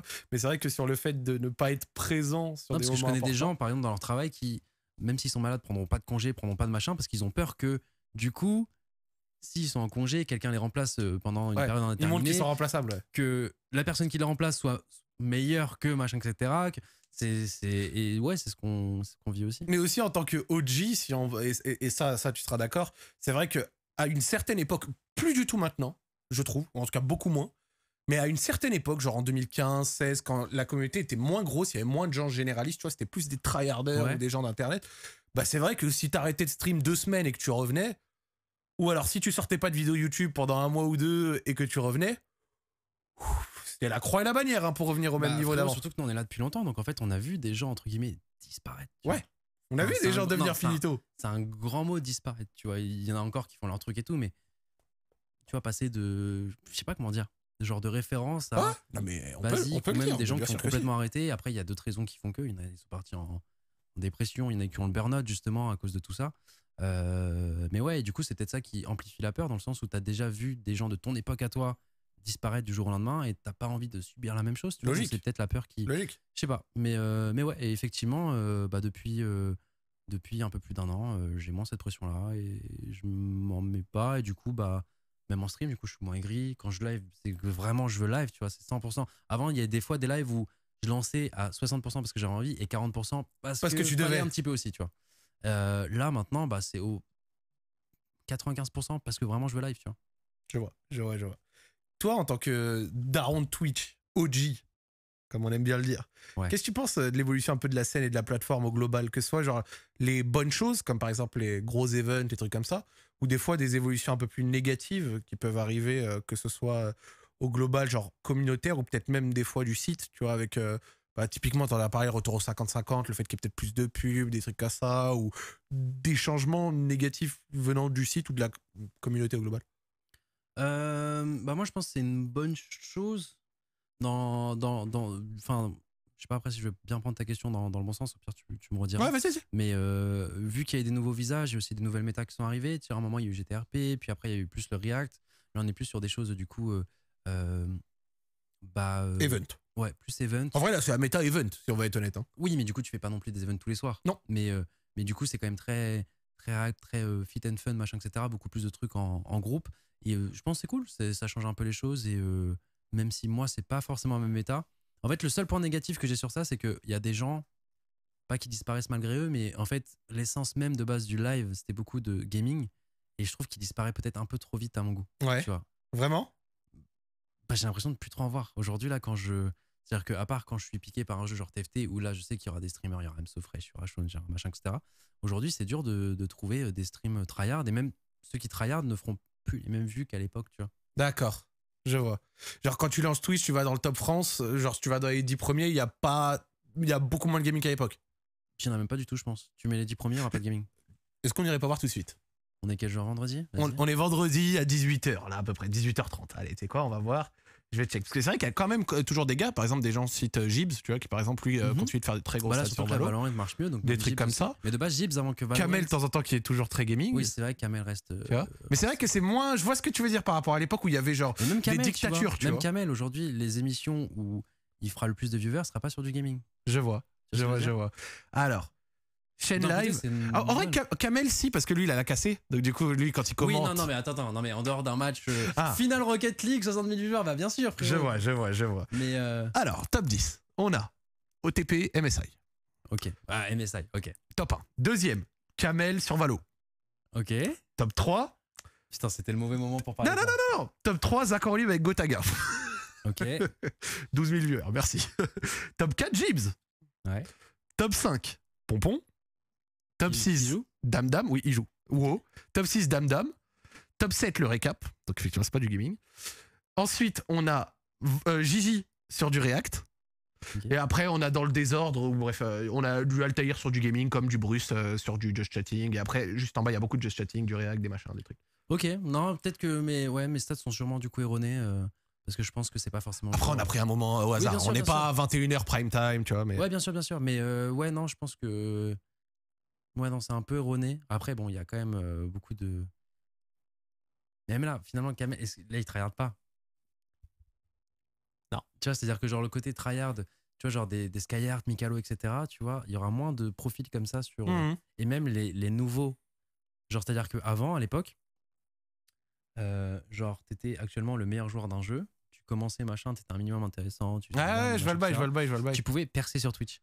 Aujourd'hui, tu peux être le meilleur de n'importe quel jeu non, mais je trouve ça dur. je suis mort parce que des gens te disent si, Kamel tryhard.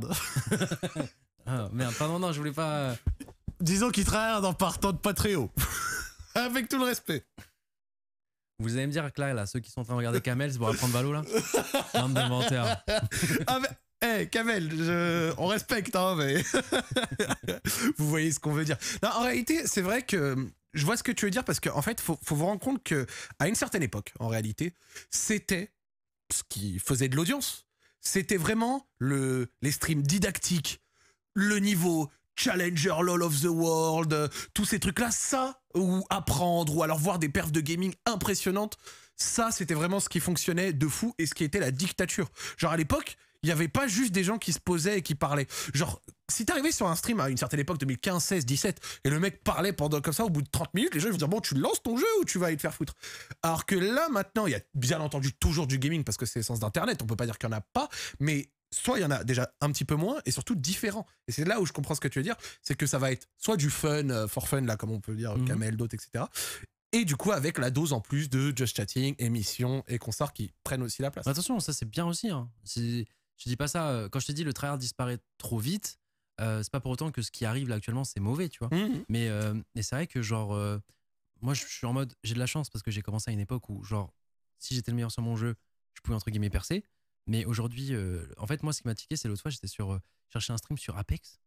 c'était la période Zilan. La période Zilan, cherchais un stream sur Apex et j'ai vu dans le titre, genre c'était troisième ou quatrième Predator. Ouais. Donc il était même pas français, hein, mais tu vois, européen, il avait sa cam, c'était assez propre, tout ça. Il avait 12 viewers, tu vois. J'étais en mode, un quatrième prédateur sur Apex, c'est dur, tu vois, pourtant. Et, euh, et, non, les gens maintenant vont. Ouais, le, niveau, le euh, niveau pur n'attirait pas. Tu peux plus, j'ai l'impression que tu peux plus euh, percer parce que t'es fort sur un jeu. Ouais. Tu vois. Ou, moins. En étant sur le jeu du moment, sûrement si. Mais. Vas-y, cite-moi. Non, et toi du chat, des gens qui, là, là, par exemple, ont percé dernièrement avec le niveau, tu vois. Bah, enfin, quand je dis percer, attention, hein, c'est pas forcément actuellement faire 50 000 viewers, hmm. mais rien que genre percer un minimum, faire 1000, 1500, tu vois. J'allais te citer un nom, j'en suis pas sûr, et, sans regarder le chat, moi je pense euh, peut-être à Gaëtan sur LoL. Je crois que c'est un jeune là qui, qui, qui, est vraiment chaud, qui commence à faire un peu de joueur. Aidez-moi le chat, peut-être que je me trompe, mais je crois que Gaëtan, Gaëtan je crois qu'il est chaud, c'est un jeune sur LoL. Mais, euh, mais c'est vrai que si on sort de, de, de, l'e-sport pur, c'est vrai que c'est compliqué. Ouais, waouh, des trucs comme ça. non, mais waouh, mais les gars, c'est de la triche. Ouais, ça fait non, mais waouh, les gars, vous le voyez en, derrière Kamel sur son stream et vous me dites. Arrêtez les gars. Mais c'est vrai, c'est intéressant. Très bien cette discussion et j'aime bien le chat également, vous discutez et tout avec nous, c'est très top. Et au global, toi, genre, euh, de, de, de, la plateforme, dans la manière dont elle évolue, dans la manière dont les events sont faits, de la manière dont les streams sont apportés, etc. Avec ton ancienneté, tu le vois de quel œil? Ouais, pardon, j'ai totalement désolé. Ah, pas de soucis, on discute. Euh, non, mais euh, du coup, je trouve que. Moi, je pense que c'est bien, tu vois. Je pense que c'est une bonne évolution. Genre, aujourd'hui, tu regardes Twitch il y a un an, Twitch il y a 3 ans, Twitch a 5 ans, les gaps à chaque fois euh, sont, sont, quand même, euh, quand même assez insane, tu vois. Et je pense que du renouveau, ça fait pas de mal. Mais je sais pas, je trouverais quand même un meilleur équilibre entre, tu vois, genre aujourd'hui, il y, a un petit génie sur Valo qui arrive. Euh, alors attends, c'est un mauvais exemple encore parce qu'il y a Darksio qui, qui est français, c'est un petit jeune, machin, etc. Et je crois que lui, ses streams marchent bien justement parce qu'il est bien classé. Mais je trouve qu'il y en a peu justement. Genre aujourd'hui, les live tryharders, je sais pas, là, des gens que je pourrais te citer, par exemple, d'anciens travailleurs, genre Denox, même Oslo, il a gagné la, la Zilan ou quoi, et genre, les gens vont pas forcément aller les voir, et je Pour ça dommage. pourtant, ils sont intéressants, euh, ils sont beaux gosses, euh, ils, sont forts à, ils sont forts à tous les jeux auxquels ils jouent, et, euh, tu vois, genre, alors que. Genre, Très joli gars, hein, Oslo, hein, je tiens à le dire. Hein. Si, bah oui, il est super VG, Great Teacher. Mais, mais par exemple, tu vois, genre, je trouve que c'est un peu unfair parce que s'ils avaient été à mon époque, bah, il serait peut-être à ma place. Euh, tu vois ce que je veux dire? C'est vrai, ça. Non, mais je vois, moi, je comprends. Je comprends. C'est pour ça que je trouve c'est dommage parce que je suis beaucoup méritocratie à ce niveau-là et, euh, et c'est vrai que je trouve qu'il y a plein de gens qui mériteraient euh, et que du coup, là, ils sont en mode unlucky, c'est pas la méta, tu vois. Ouais, c'est moins la méta, ouais. Total. Je comprends, je comprends. Il y a le côté plus divertissement de la chose. Pas pour le. D'ailleurs, pas, forcément pour le pire. Et en parlant bah, de tryhard, et là, on a aussi, bah, du coup, évoqué l'e-sport, arrive grand sujet de ce live. Qui fait très plaisir. T'as créé ta structure avec l'annonce récente de Gentle Mates avec Brooks et Squeezie. Ouais. C'est peut-être. Euh, bon, vous avez parlé vous-même, bien entendu. C'est peut-être une, des premières fois et je suis très content que tu vas pouvoir en parler ailleurs. Euh, peux-tu nous en parler un petit peu? Quelle a été et qui a été à l'initiative du projet? Pourquoi vous trois? Comment ça s'est fait? Euh, bah, L'initiative du projet, du coup, c'est Brooks et moi. Lucas qui est venu un peu plus tard. Euh, de base, on voulait créer. Euh, enfin. disons que la direction que prenait Vitality ne nous intéressait pas. D'accord. Comme, beaucoup, on a, on a quitté le navire, on, voilà, on a chacun fait nos, chemins et, et euh, ça reste quand même notre bébé de base. Donc, je suis quand même dans la team de j'espère qu'ils iront le plus loin possible et, et voilà, même si c'est pas forcément à nos côtés. Est-ce qu'à un moment, tu as, dit OK, je, me, on se retire, je, j'ai plus de part et je vais lancer un autre truc Ouais. Donc, du coup, il y a des contrats où du coup, je peux pas faire de choses. Genre, je peux pas partir Vitality le lendemain dire Allez hop, je rejoins Cassé les gars. Ouais. Euh, voilà, c'est parti. Ah, il y a quand même certaines clauses. Non, il y a quand même certaines clauses à respecter, c'est normal, tu vois, ça fait partie du, monde du travail. Mais on voulait faire un truc justement qui nous corresponde un peu plus, qui soit un peu plus dans, dans, ce qu'on imagine de, de, créer une équipe e-sport et euh, d'avoir un peu cet, amour du maillot, tu vois. Et, euh, et plus tard, il y a Samish, qui euh, aussi ancien Vitality, qui était parti et qui, et qui avait un projet qui avait été contacté par, par, par on va dire, une bande de multimillionnaires qui avaient des boîtes, machin, etc. Ok. on s'est dit, OMG, est-ce que c'est pas le moment L'équipe code à 20 millions, let's go, c'est le moment. Donc il y a eu beaucoup de discussions, des trucs ou même des, je te dis, il y a, y a un mec milliardaire, je pense, qui est venu au loco de la G-Corp. Ah ouais pour, Je te jure, pour une réunion. Mais vraiment, quand je te dis milliardaire, je, je, n'abuse pas. Oui, t'abuses pas, ouais. C'est, euh, il pesait Intéressé par l'e-sport. Et moi, j'avais honte, j'étais là avec mes claquettes. Mais on a fait cette réunion ensemble et c'était insane. Vraiment, c'était insane. Et, euh, et ouais, du coup, c'était sur le temps. C'est-à-dire que, genre, on a, on a discuté pendant des années, tu vois. Vraiment des années, machin, etc. Nous, on voulait pas aller dans quelque chose de trop. Euh, trop bizarre du coup parce que forcément quand on parle d'autant d'argent bien sûr il peut y avoir des machins etc donc donc voilà. Est-ce que peut-être à ce moment-là aussi pour vous, c'était pour toi en quittant Vitality, c'était important de, si tu relances un truc d'en avoir beaucoup plus le contrôle plutôt que justement avoir quelqu'un qui finance mais qui a plus de voix? Tu vois ce que je veux hmm. dire? Pouvoir toi-même l'imprégner de hmm. ta direction sans qu'on t'impose quoi que ce soit à aucun moment? Ouais, je pense que c'est quelque chose d'important. Après, c'est compliqué d'avoir les deux parce que forcément, quand quelqu'un euh, met beaucoup d'argent, forcément, il a beaucoup de pouvoir et grâce à cet argent, tu peux toi viser plus haut, tu vois. Ah oui. ce tu l'as dit, l'équipe code à 20 millions, les, les, slots LOL qui valent cher, les slots Valo, les slots. Euh, bref, on, je vais pas après, du coup, faut, bah, c'est ça, c'est faut trouver juste milieu et trouver la bonne personne. Et du coup, c'est très compliqué. Et c'est pour ça que ce projet, du coup, avec, euh, on va les appeler les X, euh, avec les X, c'était super intéressant parce qu'en plus, du coup, parmi les X, il y avait des gens qui connaissaient vraiment l'e-sport, qui me connaissaient Brooks et moi depuis super longtemps. D'accord. Et du coup, ça pouvait faire vraiment un truc cool. donc, c'est Samish qui nous a relié à ça. Et du coup, bah, let's go. On a testé des choses. Pour te dire, on a même testé une équipe code en, en amateur et c'était Whalers du coup qui jouait. on payait déjà des salaires, machin, etc. Parce que les gens pensaient SBG, mais quand je vous dis que c'est depuis longtemps qu'on prépare le truc, c'est vraiment depuis longtemps. Sauf que du coup, au niveau scène, c'était compliqué. Ah ouais, je lâche des, des trucs. Hein. Oh, mais c'est dingue, je savais pas du tout, c'est passionnant. Ah non, vraiment, vraiment. Donc à un moment, Whalers, il avait une squad euh, Call of Duty euh, où on payait des salaires. Euh, donc ça n'a pas duré énormément de temps, mais c'était pour tester, voir un peu la scène amateur, comment ça pouvait, enfin la scène challenger. et on a vu que c'était Merdier. Ouais, c'était merdier. En gros, là, actuellement, si sur Call of Duty, t'es pas aux US, t'es pas dans la ligue principale, c'est. Aucun intérêt. Oui, c'est juste, tu, tu jettes de l'argent par Oui, Call of Duty Europe est mort. C'est ça. Call of Duty Europe est. de dire en termes d'image, cool, on a une équipe code, regardez, j'ai un de code, regardez. Non, genre, on veut vraiment euh, starifier nos joueurs et du coup. Euh, euh, ce projet-là nous a pas. Mais c'est marrant parce que du coup, même ça, maintenant que j'y repense, on a commencé aussi avec Whalers. C'est ça qui est, ouf. Mais surtout, vous avez essayé de relancer Call of Duty. C'est dingue. Hein. ouais, pour te dire, même un moment, problème, c'est que les gens trouveront par défaut, mais même un moment, euh, c'est pareil, on a même fait un test avec une équipe League of Legends. Open Tour? Non, qui était, je crois, dans la Div 2. Ouais. T'avais une équipe Div 2 faux drapeau? Ouais. une équipe Div 2 qui. Personne ne sait que c'était vous derrière. Ouais. De toute façon, les gens trouveront parce que forcément, il n'y aura pas. Ils vont voir des noms de structures connues, ils se diront bon, il y a quelques noms qu'on connaît pas, ça va être un de ceux-là. Mais on dira, j'en dirai pas plus. Mais enfin non, c'était pas nous vraiment. Là, c'était plus l'équipe X qui ouais, Et nous, euh, du coup, on... parce que même eux voulaient voir en fait comment ça donnait, machin, etc. Bien sûr. Et ils voulaient pas mettre. Euh, sauf que voilà, donc on a aussi intégré euh, Lucas parce que moi, Lucas, c'est quelqu'un que je connais depuis très longtemps et je sais que quand il est investi dans un projet, il s'y donne vraiment à fond. Et ça faisait un peu le mélange où on voulait aussi toucher, comment dire, des gens qui ne connaissent pas, un peu comme j'avais entre guillemets fait à l'époque de YouTube déjà.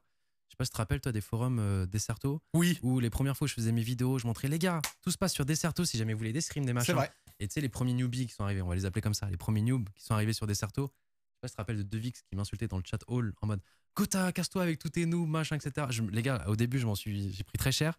Mais après, ces gens-là, il n'y a, pas tout le monde qui est resté, forcément. Mais du coup, c'était euh, nécessaire. Mais en gros, il y a un pourcentage de gens qui ont découvert via les vidéos du coup le Desserto et qui sont restés ensuite par la suite. Et c'est ce qui a fait les viewers, qui a fait euh, plus d'équipes, qui a fait, euh, qui a fait tout ça. Et du coup, c'était une bonne chose à la fin, tu vois. Et quand j'en parlais plus tard avec Devix, c'était en mode oui, finalement, c'était bien, tu vois. Dédicace à Devix. Euh, ça, c'est un nom que j'ai pas entendu depuis mille ans. Non, mais Devix, non, il me restait parce qu'il était super smart. Il écrivait super bien. Et quand lui m'insultait, ça me faisait encore plus mal. Parce que lui, c'était pas un DD, tu vois ce que je veux dire Donc, quand c'est pas un DD qui t'insulte, tu sais, quand j'avais des embrouilles comme ça avec Devix, des oxygènes, machin, etc., il y avait aussi, comment il s'appelle Electrose. Oui. Greg. Greg. Ah non, mais il y a des noms comme ça où tu sais que c'était des mecs giga smart et quand tu t'embrouilles avec eux, t'étais en mode, ils sont chiants, putain. Mais euh, et du coup, bah là, c'était un peu, un peu ce côté-là. Je me dis qu'en fait, là, aujourd'hui, si on montre quelque chose euh, du coup d'e-sport, on veut tenir par la main, montrer que ce qu'on fait, l'e-sport, c'est cool, tu vois. Et c'est d'ailleurs comme ça qu'on a commencé aussi Gentleman, tu vois. Mes premiers, les premiers lives, des fois, ça peut gêner certaines personnes, mais tu vois, on va mettre une vidéo de deux minutes de présentation des règles. Toi qui joues à Valorant tous les jours, t'es en mode frère, flemme, tu vois. Oui, on connaît, mais c'est nécessaire. Mais c'est nécessaire pour. C'est de la pédagogie. Et pour preuve, le deuxième live qu'on a fait, euh, il y a 80 000 viewers. Et sur les 80 000 viewers, quand on a lancé un sondage dans le chat, qui regarde pour la première fois euh, bah, ses premiers matchs Valo et machin, qui connaît rien du tout, il y avait genre 35%, ce qui est énorme, tu vois. Euh, du coup, du coup, voilà, c'est quelque chose qu'on voulait faire. Et je pense que Lucas, en plus d'être quelqu'un qui en a confiance, tu vois, lui, il est super motivé par le projet. Et du coup, il peut apporter cette chose que bah, Brooks et moi, on va pas forcément avoir, tu vois. Et c'est super intéressant. Donc la fusion était, était assez logique. Et euh, Comment vous lui avez proposé le truc? C'est toi, au détour d'une conversation, tu lui as dit je vais lancer une équipe e-sport et c'est lui qui a dit tiens, ça m'intéresse e-sport parce que c'est vrai que c'est pas évident la connexion Squeezie e-sport. Euh, non, bah moi, moi, il savait parce que du coup, euh, c'est un ami proche et du coup, il savait que moi, ça faisait quelques moments avec Brooke qu'on essayait de faire ça. et on était en vacances, je crois, au ski ensemble. Et, et à un moment, je lui dis mais pourquoi toi, ça te chauffe pas?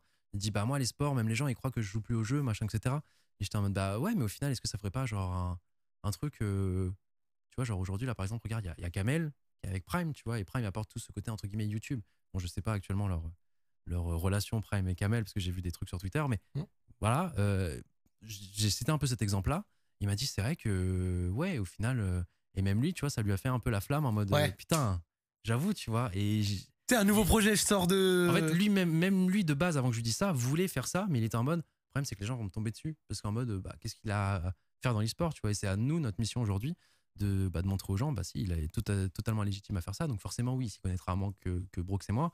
Mais, euh, mais déjà, euh, frérot, c'est là que tu vois son implication. Genre vraiment, tout le début de Gentleman, c'est lui qui a vraiment carré, tu vois. Genre que ce soit la vidéo trailer qui, tu vois, on est passé par du coup sa boîte de prod, machin, etc. Elle a coûté super cher. Aujourd'hui, si on peut avoir des sponsors en day one en tant que structure, bah clairement, c'est principalement grâce à l'image de Lucas, tu vois. Ouais, je vois. Faut dire les termes, et, et c'est véridique. Mais le problème, c'est qu'on a aussi les mauvais côtés de Lucas dans le sens où euh, Lucas, aujourd'hui, quoi qu'il fasse, tous les semaines, il y a son nom en tendance pour n'importe quoi. Ouais. Genre, euh, et c'est. Tout est scruté fois 1000 alors que toi déjà tu connais ça. légitime, tu vois. Et les gens en jouent aussi, tu vois. C'est-à-dire qu'aujourd'hui, on a fait SBG. Euh, donc, déjà, nous de base, pourquoi on fait. Euh, pourquoi on a fait une structure. Enfin, on a recruté un roster Valorant avant même d'annoncer, c'est que de base, nous, on voulait faire notre projet. Donc, on se dit, OK, on va plus travailler avec X parce que X, on sentait machin, etc. Et ça commençait à devenir des, des délires un peu à la Corporate. Corporate, euh, on n'allait pas forcément être indépendant. Est-ce qu'on allait sacrifier ça pour avoir notre petite équipe code à 20 millions? Non, on voulait vraiment faire notre truc à notre sauce. Tant pis, on va le faire euh, à la mano, on va le faire avec nos moyens. Euh, donc attention, on vit bien tout chacun machin, etc. Mais une structure e-sport, certains ne se rendent pas compte, ça coûte oméga cher. Avoir des structures, avoir des squads, ça coûte très très cher. Et même si on vit très bien, les gars, mettre de ta poche comme ça à l'infini, c'est pas possible. Non. C'est clairement pas possible. Euh, donc du coup, on s'est dit, on, vas-y, on va faire nous en indépendant, on va faire nos trucs, vas-y, go, on monte des dossiers, machin, etc. On commence, on fait les premières discussions, et là, genre peut-être un mois après, deux mois après, euh, donc quand on a pris vraiment notre décision de le faire nous, euh, on nous contacte en mode, oh, il y a un spot libre pour la ligue VRL, ouais, la VRL de du coup de Valorant. le truc, c'est que c'est en mode, si tu la prends pas maintenant, ça se trouve, tu l'auras jamais. Tu vois, et tu dois passer par la Div 2, te qualifier en playoff, ensuite monter. C'est oméga long. On a Whalers, qui lui euh, du coup cherche une structure à, représenter. Mmh. Personne lui donne euh, de test. C'est un ancien joueur manette, tout le monde lui donne. Enfin, personne lui donne l'heure, clairement. Euh, il est avec Beyaz et tout. Pareil un peu pour Beyaz. En fait, on a pris plein de mecs un peu rejetés de chaque structure, tu vois. Pour, pour former une squad de mecs qui ont la dalle. De squad, voilà, qui a la dalle de La dalle de vous nous avez rejeté. Et en même temps, bah, du coup, on se dit, vas-y, c'est notre occasion. De toute façon, nous, on veut y aller. Dans tous les cas, code, les gars, première squad, c'est mort. Si on attend d'avoir code en première squad, c'est impossible, 20 millions, on les aura pas. Mmh. Euh, et Valorant, en tous les cas, c'est un jeu sur lequel on va aller. Donc on se dit, let's go, on prépare tout, on part un peu machin dans le rush, tout ça, machin. Euh, nous, on connaissait déjà certains joueurs avec Brooks, parce qu'on suivait quand même un minimum Valorant. Et euh, là, c'est parti, SBG commence, ils sont dans la ligue, ils sont au début en mode un mix. Et ils commencent à gagner les premiers matchs et tout. Dis-toi qu'en plus, les premiers matchs étaient à la G-Corp, du coup, en mode bootcamp en dessous. Ah non, c'est vraiment. Il a fallu les cacher, hein. Ah ouais, bah on les a cachés de fou. Niveau humain, c'était trop cool. En plus, bah nous, on a dit SBG de base. Pourquoi? On était en mode, bon, on va, la structure sortira allez, en juillet, tu vois. Donc là, il est sorti beaucoup plus vite que prévu. Euh, mais il faut un nom quand même en mode. Euh, quand, on, quand on dira que c'est notre structure, c'est nos joueurs depuis longtemps, il faut que les gens nous croient parce qu'ils vont nous hmm. dire bah non, vous avez juste racheté un truc, c'est pas à vous, les gars. Donc go, vas-y, go SBG. Et vous, savez, vous savez pourquoi on va faire SBG Parce que j'ai une autre boîte qui s'appelle Stardust by J, mon truc de vêtements, machin, etc. Au pire des cas, les gens feront cette liaison avec moi, c'est tout. Deux jours après, tout leak. Woulou, il a eu les infos de je sais pas où, frère. Il a tout leak, la grosse tête de Lucas partout.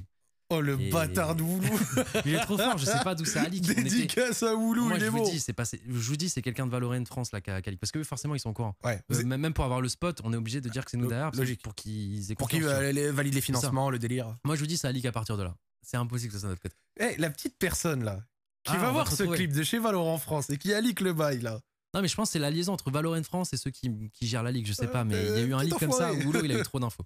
Il a eu trop d'infos, il était trop courant. Du coup, ça leak, mais bon, c'est quand même, euh, tu vois, un milieu très ermite quand même. Donc, si tu suis pas Woulou de base, nous, on n'a pas essayé d'ébruiter. Tu vois, il y a des gens qui posent des questions, on ignore. Moi, je joue un peu sur le côté, voilà. Euh, je suis Whalers parce que c'est mon pote, allez hop, c'est tout.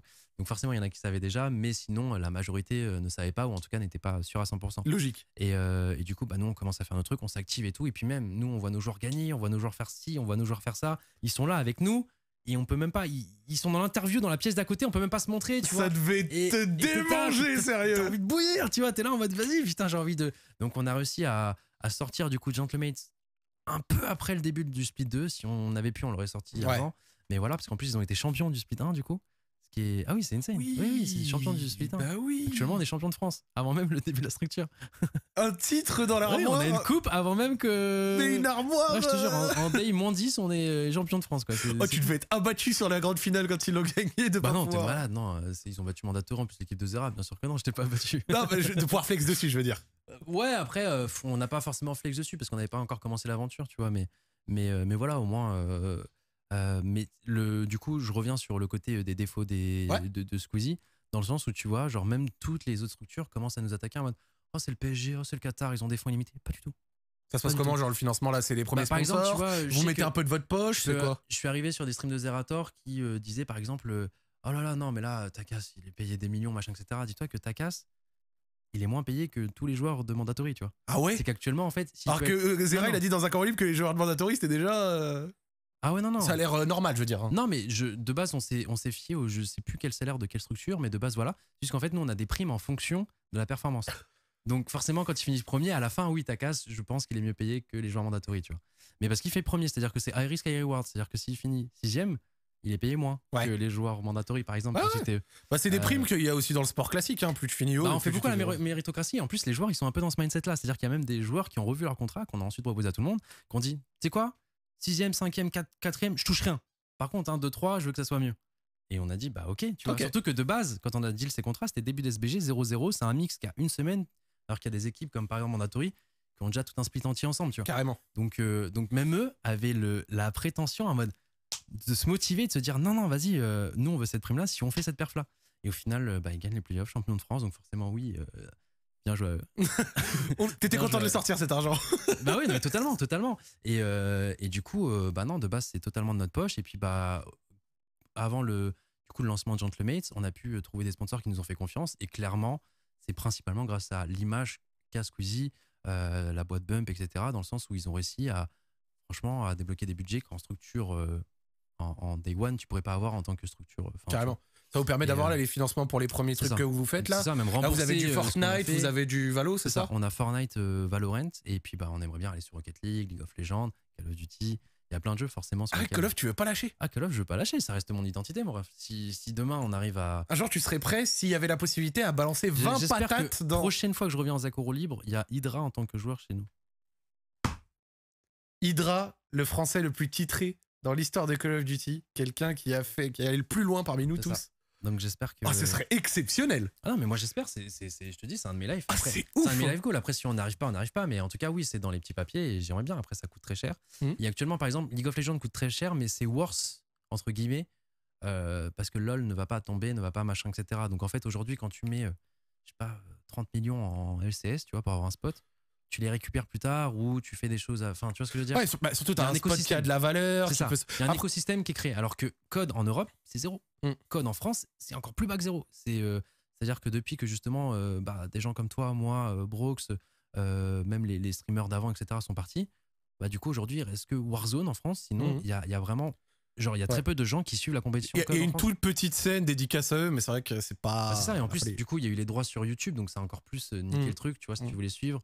Euh, et du coup, c'est un peu compliqué. Donc, c'est-à-dire qu'en plus, si on va sur Code, il faudra recréer, enfin, refaire vivre un peu cette scène-là, et ce sera un peu notre mission.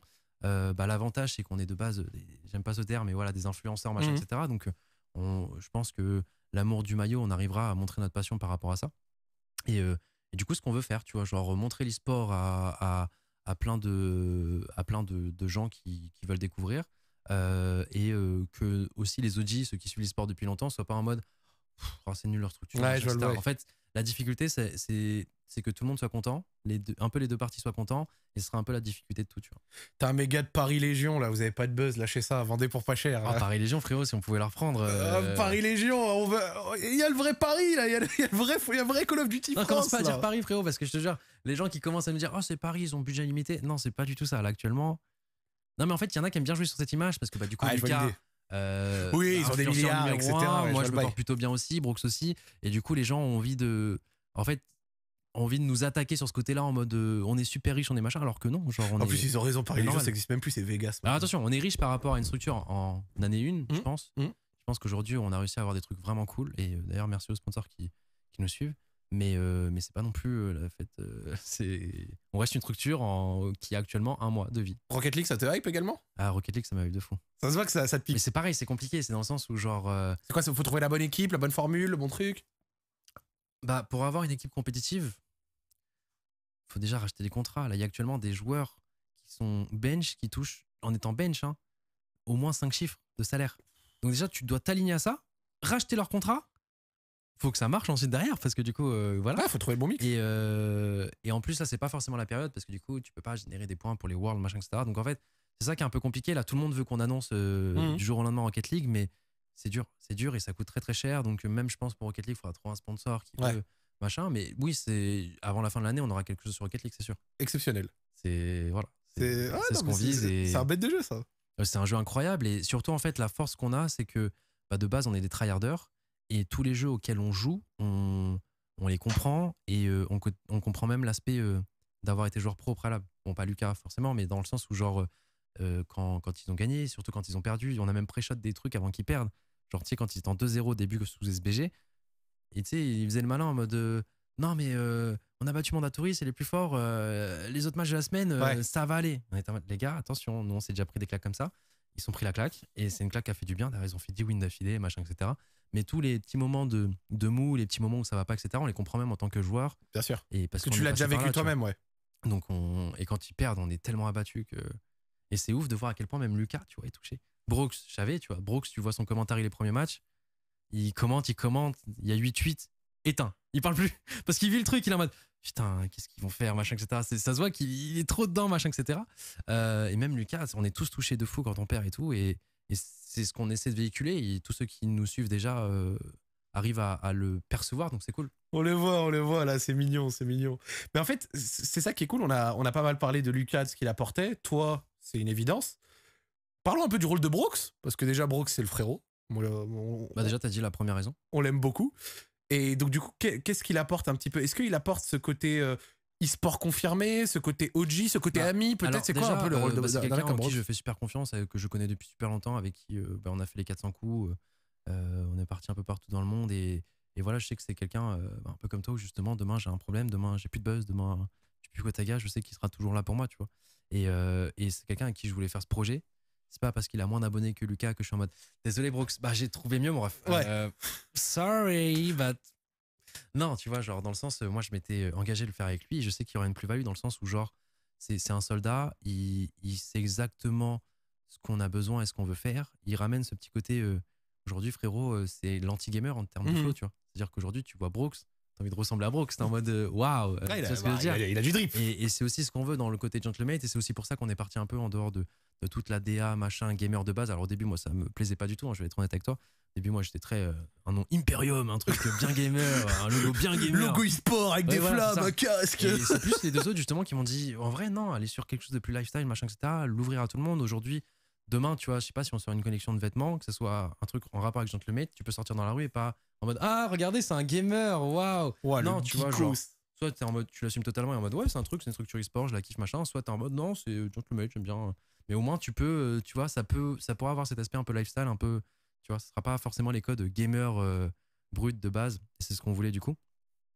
Et euh, Brooks, même ça, c'est l'image aussi qu'il a de base, tu vois, que moi j'ai pas, par exemple, clairement, euh, dans le sens où aujourd'hui, euh, bah, c'est un gamer anti-gamer, tu vois, dans, mmh. tu vois, genre. et là, avec ses plaquettes de, chocolat, grave cool, tout machin, etc. Et c'est mon frérot, et actuellement, tu vois, on fait tous un peu plus que ce qu'on devrait faire là pour le lancement, parce que forcément, il nous manque de la main-d'œuvre, entre guillemets.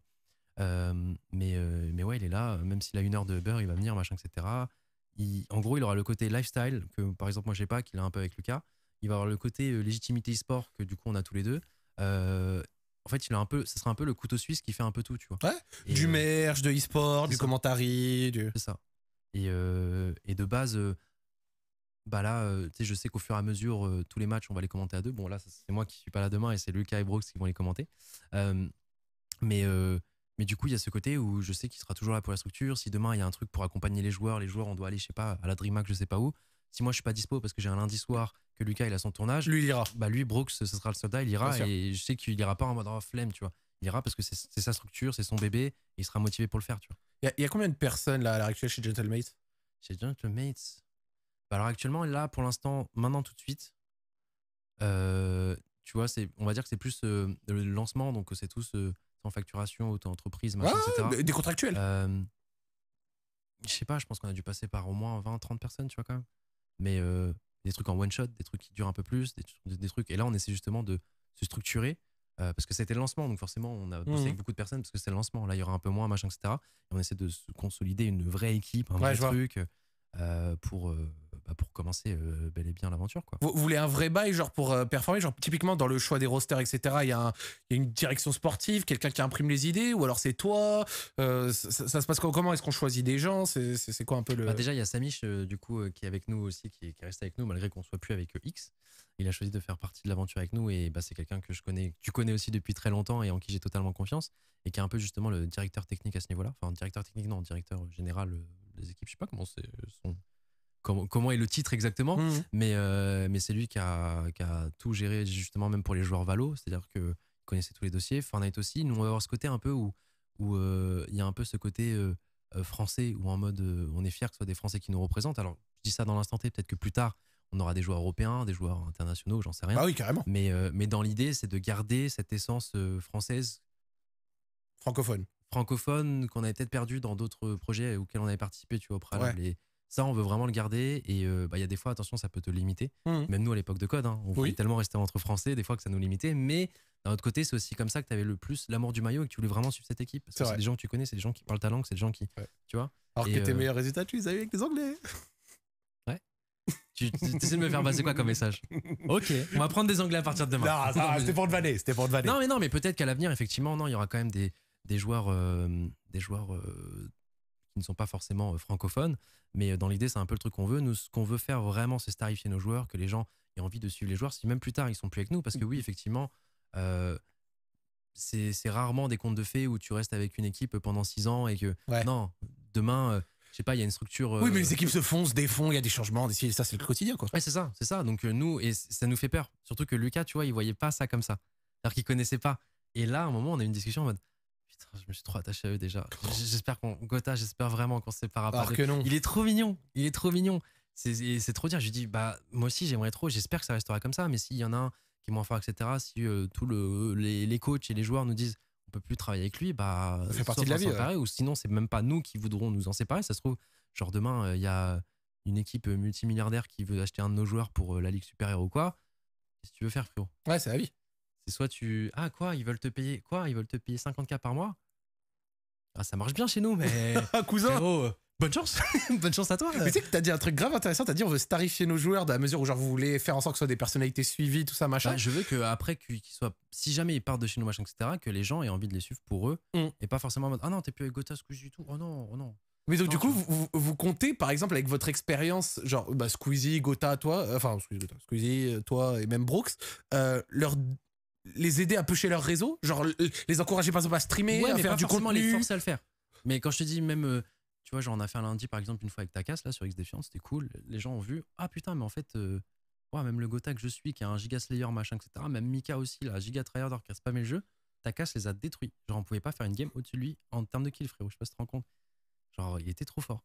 Et c'est un peu ça, tu as montré euh, aux gens un peu, un peu comme moi sur YouTube à l'époque en mode coucou, regardez, il y a Deserto, on est tous très forts dessus. hein. Il n'y a Mm. pas que moi, les gars, on est tous des joueurs compétitifs, on est trop forts, venez nous voir. Bah là, c'est un peu pareil en mode les gars, regardez les pépites qu'on a, ils sont trop forts, suivez-les. Donc c'est encore mieux si ça suit le groupe et tout, mais on veut vraiment les starifier, qui est l'amour du maillot, que tu as envie de suivre l'équipe, pas juste suivre le nom pendant un temps parce que c'est un tel, un tel derrière, machin, etc. C'est que tu es vraiment au-dessus le projet, que quand tu perds, ça te fout les boules. Oui. Quand tu gagnes, tu sois trop content que ça refasse ta journée. Et, euh, et si on arrive à, à véhicu- véhiculer ça auprès des gens, bah, on aura tout gagné. Déjà, déjà, la victoire, c'est que Lucas, justement, je savais qu'il serait super impliqué dans le projet, machin, etc., mais je savais pas comment il réagirait à ça. Frérot, la première victoire euh, contre Mandatouri, là, sous SBG, hein, on était tous en haut. Euh, à la G-Corp en train de regarder, il a fait des roulades par terre à chaque... quand il y a eu un clutch et tout. J'ai jamais vu Lucas comme ça. Voilà, Oh la folie. Et quand on a perdu, on était tous abattus, mais vraiment genre triste. Et c'est là que je me suis dit, c'est- bien qu'on fasse ce projet. Parce que déjà, à partir du moment où même sous SBG, on était autant impliqué, autant impacté par, euh, par ce que faisaient Ouais, les les aléas du sportif, victoire, défaite. Et c'est là que je vous envie, vous, euh, supporters de foot. euh. Enfin, je vous envie oui et non, parce que du coup, quand vous supportez une équipe qui perd beaucoup, Crois-moi, mon pote, tu m'envies pas. hein. Crois-moi qu'avec l'Olympique lyonnais, tu m'envies pas. On a rien gagné depuis 11 ans, frère. On est des tocards. euh, non, non, ça- ça- mais il y a des hauts débats. ouais, mais ouais, mais du coup, tu kiffes quand même.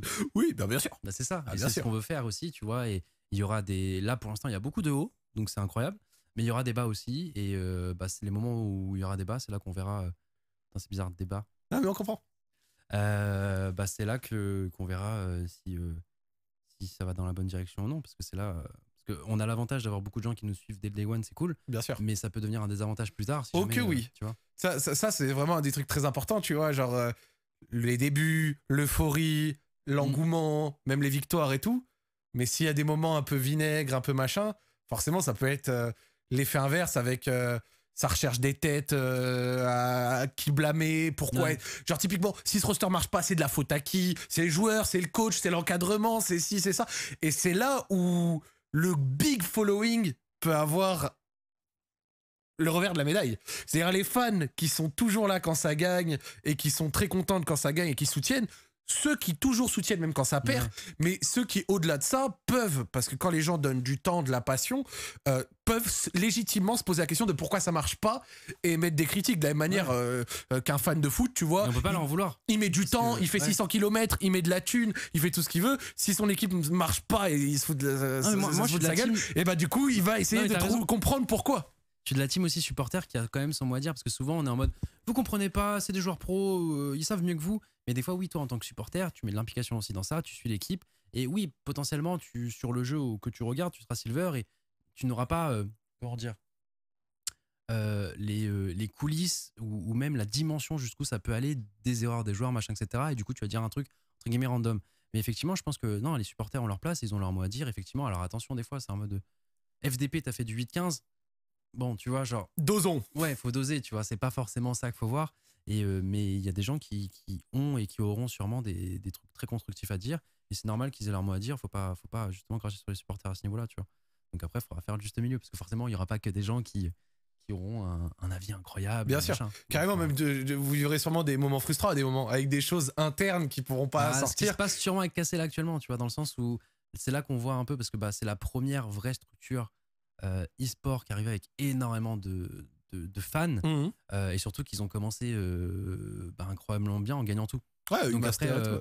Quand, quand, les, quand, quand les gens voient le visage où ils peuvent perdre, parce que oui, ils restent humains, bah, les gens, euh, il y a certains membres, soit qui retournent leur veste, soit qui sont un peu euh, brutaux dans leur, dans leur communication. Et là, tu vois actuellement euh, le roster euh, euh, Valorant, là, je, ça me fait chier pour euh, Kamel, tu vois. Je Mhm. rigole, mais dans le sens où, genre, ils peuvent rien dire ce qui se passe en interne, il y a des problèmes internes, il y a des problèmes machin, il y a des trucs comme ça.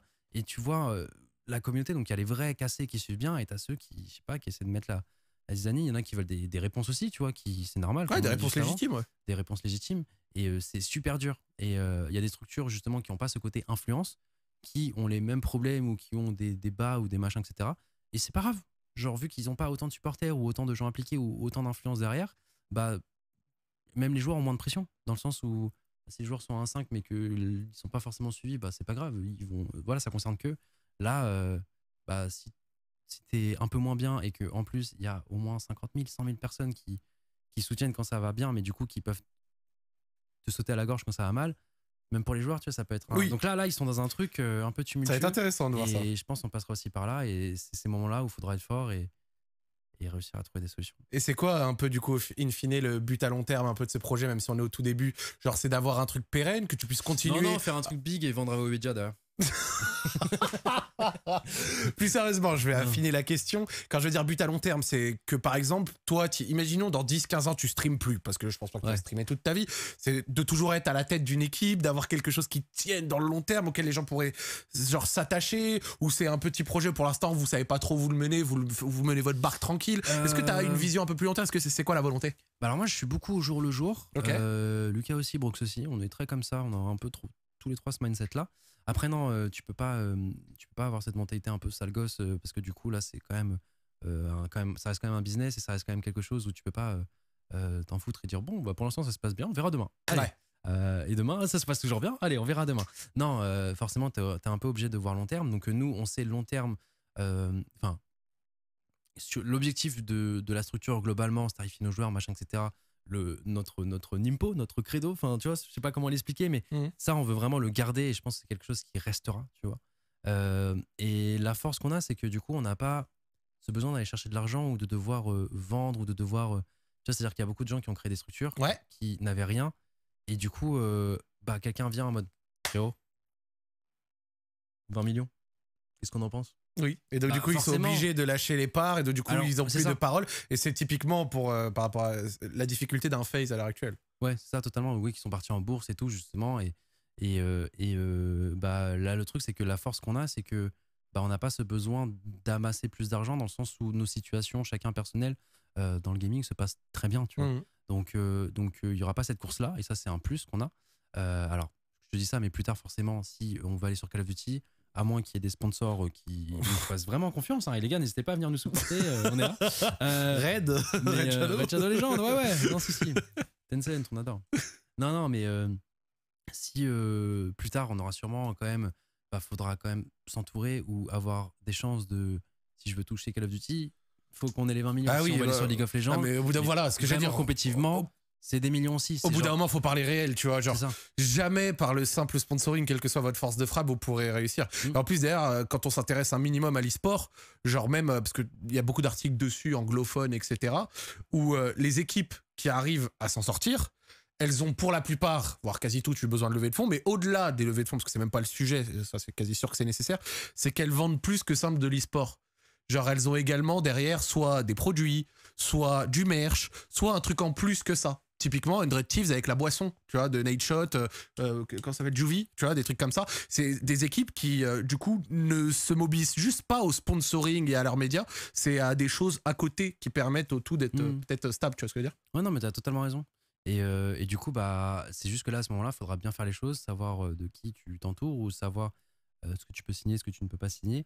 Euh, et euh, la force du coup qu'on a, vu qu'on n'a pas ce besoin d'aller vite, c'est que vraiment on pourra prendre notre temps et euh, faire les choses bien, tu vois, à ce niveau-là. Donc euh, peut-être que ça nous prendra euh, des mois, des années, beaucoup d'années peut-être.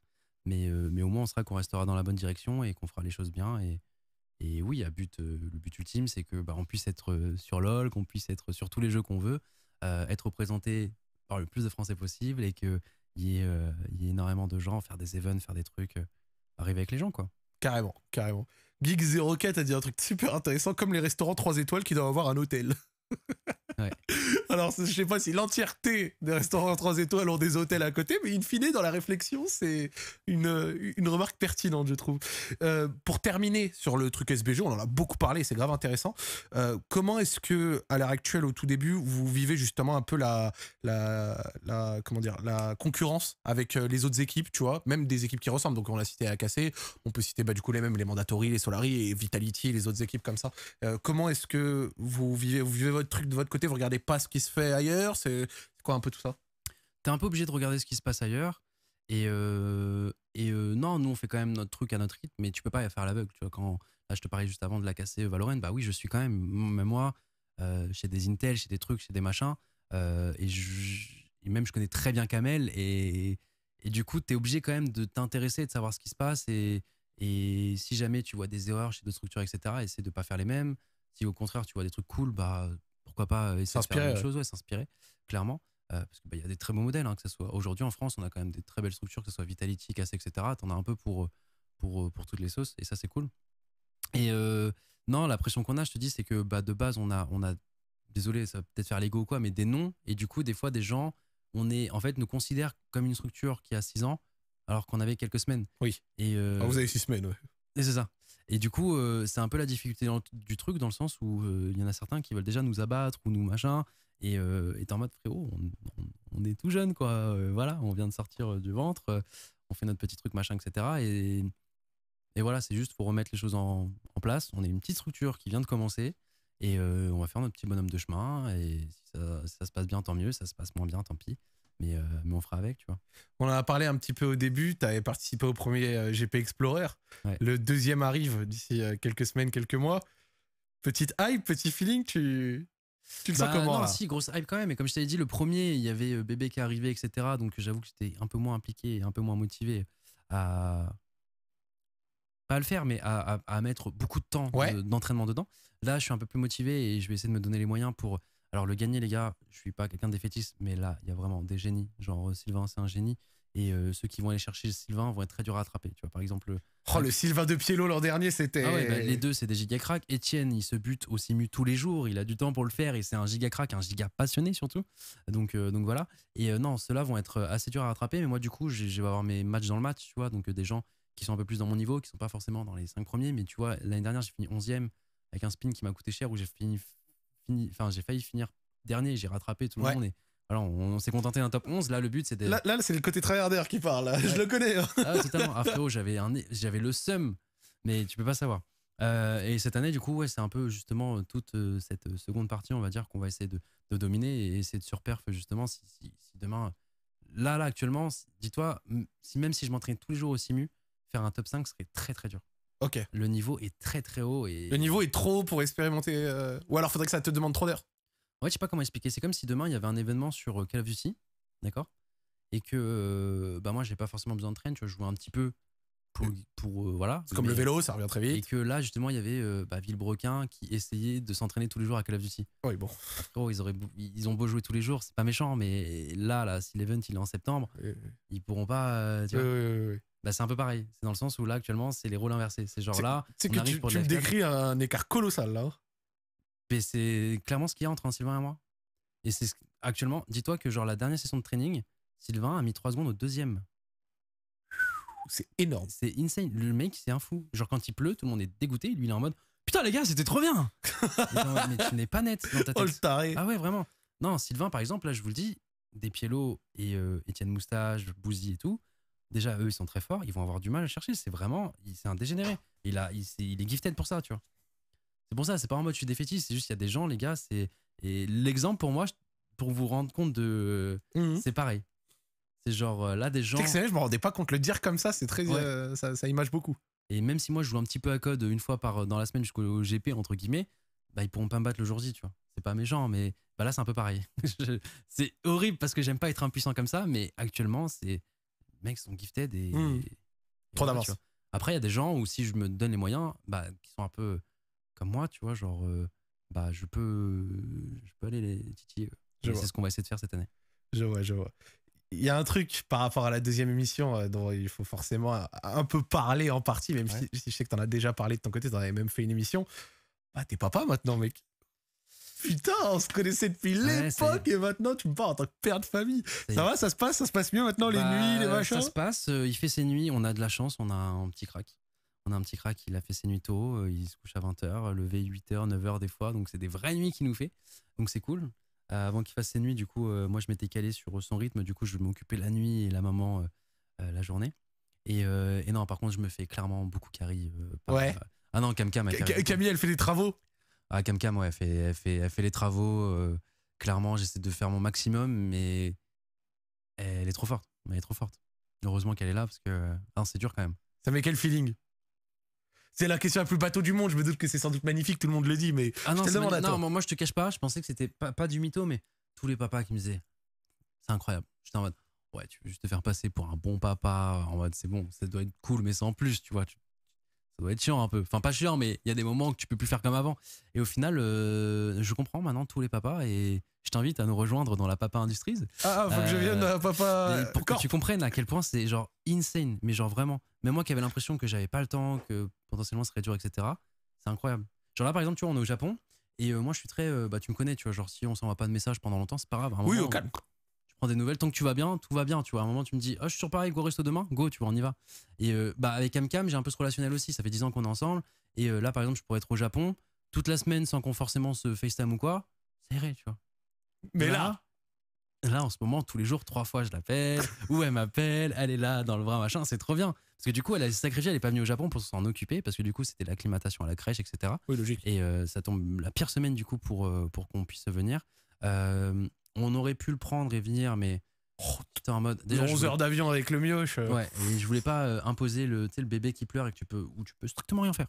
Et, euh, et que les gens soient dans l'avion. Je voulais pas l'imposer ça aux gens. Et, et même, tu vois, je voulais pas que pour toute l'expérience de la G-Corp, etc., que ce soit en mode, nous, on soit dans notre coin à s'occuper du bébé, que toute notre attention soit tournée autour de, de, ça et que du coup, ça empathise sur le plaisir collectif. Donc, du coup, Cam, encore une fois, la super maman qui s'est sacrifiée. Dédicace. S'en occupe, mais c'est aussi pour ça qu'on reste moins longtemps et que et que du coup, euh, voilà, ça va être un, passage éclair au Japon, mais, euh, mais vraiment, pour le coup, c'est vraiment incroyable.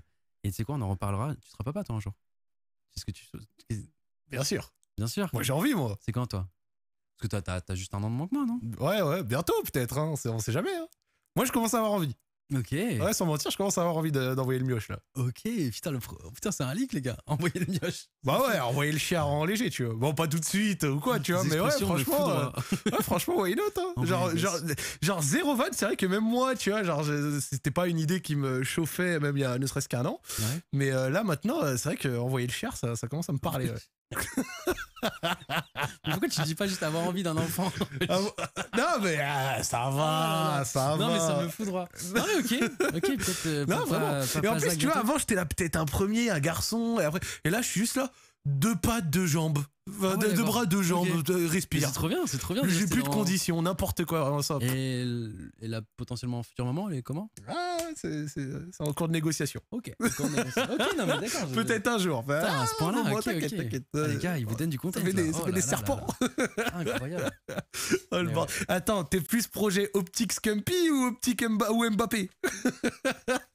Hmm sais pas si je serais un bon papa à ce niveau-là, mais je pense déjà là, je vais prendre des peluches là, à Pokémon Center là, je vais ramener, on va faire le test. Tu sais, les trois starters. Oh Ça, ça va être. Tu veux lui faire ça? Bah, Bien sûr. je crois que j'en ai déjà parlé dans un. Voir vers où il se dirige? Ouais. Incroyable ça. Starter feu incroyable. si c'est le petit salamèche, si c'est carapuce, ça va. Si c'est but bizarre, ouais. On va peut-être faire un deuxième pour. Ouais, euh, pour, pour backup. pour backup. c'est bon, on a le seul de la famille là. Non, non, je rigole pas, je ferai quand même le test, mais non, s'il prend plante, il prend plante. non, mais c'est sûr tous ceux qui ont choisi euh, Bulle Bizarre, ils ont fini genre euh, cracheur de feu ou jongleur. les gars, je me désolidarise. Ah, intermittent du spectacle. Mais respect pour tous les intermittents du spectacle. Il hein, y a pas de. Non, mais là, oh, c'est de la vanne, c'est de la vanne. Oh, non, mais, euh, mais ouais, je ferai quand même ce test. Et non, je pense que j'essaierai. en fait, la... ce qui est cool, déjà, mes parents, tu vois, on était famille modeste et ils ont quand même fait leur possible pour que euh, je m'épanouisse et que j'essaie de trouver là où je voulais. Surtout que moi, je suis très indécis en mode je sais pas, je sais pas, je sais pas. Mhm. Et euh, du coup, ils m'ont mis à l'escrime, au foot, euh, enfin, tu sais, à tous les sports possibles. J'étais sur le foot, puis après, il y a eu la console, donc tout a foiré. mais ouais, je pense que je pense que on testera un peu tout ça, dans le sens où il testera un peu tout, tu vois.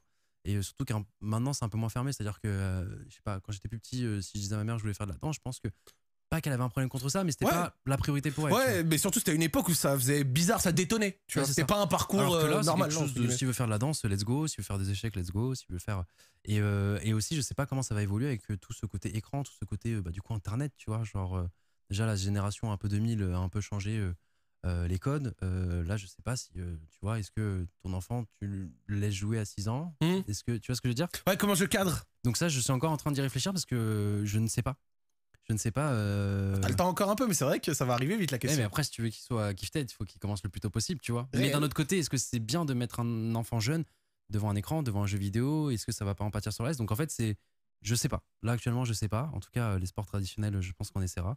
Et, euh, et puis. Euh, et puis, euh, bah, la force, c'est que justement, je te comparais ça à moi qui avais été dans une famille modeste, c'est quand même qu'ils avaient essayé. Et là, le fait que genre, bah, j'ai une situation, machin, etc. en plus, ce sera pas freiné par le, tu vois, genre, je sais pas, des sports qui peuvent coûter cher, genre le tennis ou des trucs comme ça. Ouais, je vois le bail. Bah, au moins, si vraiment ça le passionne, bah go, tu vois, on lui fera confiance et si c'est ce qui te passionne, let's go, tu vois. Génial. Non, c'est bien, c'est bien, c'est bien ça. C'est vrai qu'il faut faire attention, machin, avec les écrans et tout. Et c'est vrai qu'il y a des gens, tu vois, c'est un truc qui est assez marrant, c'est que si tu t'en rappelles, nos parents, notre génération en général, quand nous on jouait aux jeux vidéo, ils étaient genre limite un peu trop protecteurs, genre avec même des fois des clichés sur ça peut rendre violent, machin, nana. Bah, ils avaient raison. Surtout qu'en fait, c'est une époque où il n'y avait pas de il n'y avait pas de métier qui en mhm. sortait, qui en découlait. Bien sûr, bien sûr, bien sûr. que tu deviennes euh, Julien Telouk, il n'y avait aucun métier. En fait, ils avaient raison sur la méfiance, mais sur certains effets que ça pouvait avoir, machin, tu sais, c'était souvent un des médias qui disaient n'importe quoi et tout ça, machin. Bah, mais à l'inverse, en fait, ce que j'essaye de dire, c'est que du coup, vu qu'on a beaucoup rejeté ça parce que c'était beaucoup de bêtises au final, il y en a beaucoup qui oublient qu'effectivement, il y a des côtés négatifs à ça. Aux écrans très jeunes, sur la concentration, tout ça, et qu'il faut quand même un minimum cadré, même si nous on vient de là. Bah, c'est pour ça, il faut quand même cadrer, faire attention. Mais d'un autre côté, c'est que, regarde par exemple, il y a Esteban Ocon qui nous expliquait que lui, depuis 4 ans, il est dedans. Et c'est ce qui fait, je pense aussi, qu'il est actuellement à sa place de pilote de F1, tu vois. Donc c'est qu'il a commencé sa, passion super jeune. Sauf que bah, les côtés néfastes du karting, etc., à part le fait que tu peux te blesser violemment, mmh. il n'y a pas vraiment de côté néfaste, tu vois. Alors que les écrans, etc., euh, mettre mon enfant devant un écran en mode, tu vois, Fortnite, là, vas-y, fais un 90 pour voir. À 4 ans. Petit switch. c'est pour Oui, tu vois. Et ça qui est un peu compliqué. Et euh, j'ai déjà vu un peu ma petite sœur Lily, là, qui, vraiment, bah, avant qu'elle fasse le, 1v1 contre Dwag, justement, euh, euh, je l'ai vu un peu son niveau en bullfight sur une tablette, etc. Et j'ai vu à quel point, genre, plus t'es jeune et plus t'apprends rapidement. Ah oui, non, mais en fait, les, les, les, jeunes, c'est des éponges. C'est ça. Mais après, notre prime, il était pareil. C'était à 15-16 ans, nos primes aussi. Bien sûr. Et là, il commence de plus en plus jeune. Il y a des gens, justement, qui ont fait un peu le projet Bouga en mode Ah, quoi, il peut gagner 10 millions en gagnant une compétition Fortnite? T'aimes pas Fortnite? Allez, let's go, vas-y, test. Il euh, y en a qui sont partis un peu dans ça. Je sais pas comment c'est allé derrière, mais des parents un peu plus fous. Et euh, moi, je sais pas justement euh, comment, comment tu fais rentrer le jeu vidéo et à quel âge? Et de quelle manière, etc. De quelle manière. mais ce serait trop intéressant de voir un truc, regarde, tu vois. Genre, l'e-sport, c'est jeune. Ouais. Des sports comme le football, c'est centenaire. Ce que j'essaye de dire, c'est qu'à l'heure actuelle, tu as des footballeurs très connus qui ont leur fils qui joue et qui ont même un bon niveau. Haaland, son père était footballeur.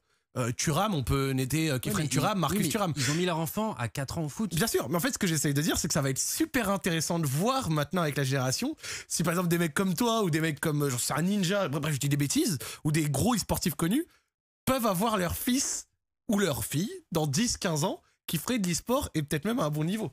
Et voir si le fait que le daron y ait été a joué un rôle. Tu vois ce que je veux dire? Tu, vois, la question de l'e-sport est trop jeune encore pour ça, mais ça va être après, très intéressant. Enfin, après, il y a tout qui rentre, l'éducation, le machin. Parce que regarde, au final, tu vois, là, c'est le meilleur exemple, ma sœur, qui au final n'était pas. Euh, comment ça se fait que, genre, là, actuellement, on, a, on soit, genre, sur 5 euh, frères et sœurs, 4 joueurs qui ont été pros sur. Euh, Quelque chose. Sur, sur du gaming. Réel. Réel. Et encore, Lily, elle a pas encore commencé son arc, mais. tu vois ce que je veux dire? C'est vrai. Mais. Enfin, tu te non plus en soi, mais dans le sens où, enfin, comment t'expliques ça? C'est lié à quoi? Mais vous, vous avez une famille, de toute façon, euh, j'ai essayé de tomber depuis un moment. Hein. j'ai arrêté d'essayer de comprendre. Oui, mais du coup, c'est Vous avez tous un truc sur, sur ça. Hein. C'est pas le sang. Non, c'est pas le sang. Après, je sais pas si c'est le fait que toi, en tant que grand frère, tu les aies conditionnés en te voyant faire. Euh, c'est mes parents ça les a ramenés d'une manière. C'est pas l'éducation que nos parents nous ont donnée. Ouais, sans doute, sans doute, sans doute. Mais, c'est vrai qu'au final, il y a toi, Ronan, il a été pro, Mel, elle est pro. Titoun, là, actuellement, euh, des fois, il fait des duelistes diff à Takas en partie privée, donc je pense que lui, il est bien parti pour. Euh, ok, Titoun peut-être. Le, la petite euh, Lilia. Si Takas, il est sur live, il va me détruire. Takas, écoute, écoute, écoute bien, hein, ta, place, elle est, elle est menacée. Non, plus sérieusement. Et ensuite, il y a la petite également qui est très forte. C'est vrai qu'il y a peut-être quelque chose. Hein. Mais du coup, est-ce que c'est ça, du coup, pour les enfants aussi est-ce que tu dois les conditionner? Est-ce que... Enfin bref, là, je pars dans un truc. Il est 2h du mat ici, les gars. Ouais, non, mais c'est trop intéressant. Là, là on est en fin de live. Parce que là, chez vous, il est du coup 20h euh, Il est 19h24. Il est 19h24 Là, les gars, moi, je suis explosé, j'ai lagué. Donc là, je commence à partir dans les débats d'après-soirée. Là, ça fait 2h30 d'émission. Ouais, c'est pour ça. Euh, c'est trop bien. je, suis désolé, mais du coup, euh, ah, je sais pas. Mais ce sera un débat intéressant, un de ces quatre à se faire. Carrément, carrément. Même dans les avis YouTube, etc., le chat, vous avez, vous avez, vous avez de quoi envoyer. Euh, dernier, euh, dernier petit point qu'on a envie d'aborder, on a parlé euh, forcément genre de SBG, tout ça machin. Euh, est-ce que à l'heure actuelle, en perso, ouais. t'as encore des futurs projets, des trucs qui t'animent, des choses que tu as envie de faire? Comment tu vois l'avenir? En perso, non, pas spécialement. Enfin, en perso, que ma famille se porte bien.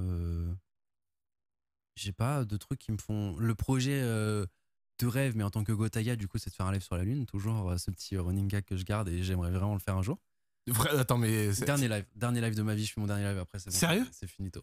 si- un jour tu as la possibilité euh, dingo de faire un live sur la Lune, ce Ouais. serait le dernier. Ouais, je pense. Non, mais quand je dis le dernier, j'en sais rien, mais genre en tout cas, c'est le projet ultime que. Un live en direct de la Lune Ouais, je sais pas, euh, on en trouve un concept cool, t'inquiète. Non mais tu sais qu'à la vitesse de la technologie, ce serait trop drôle, même dans 5-10 ans, il y a des voyages lunaires, il va, il, va, il va aller payer les 150 000 balles juste pour dire je l'ai fait.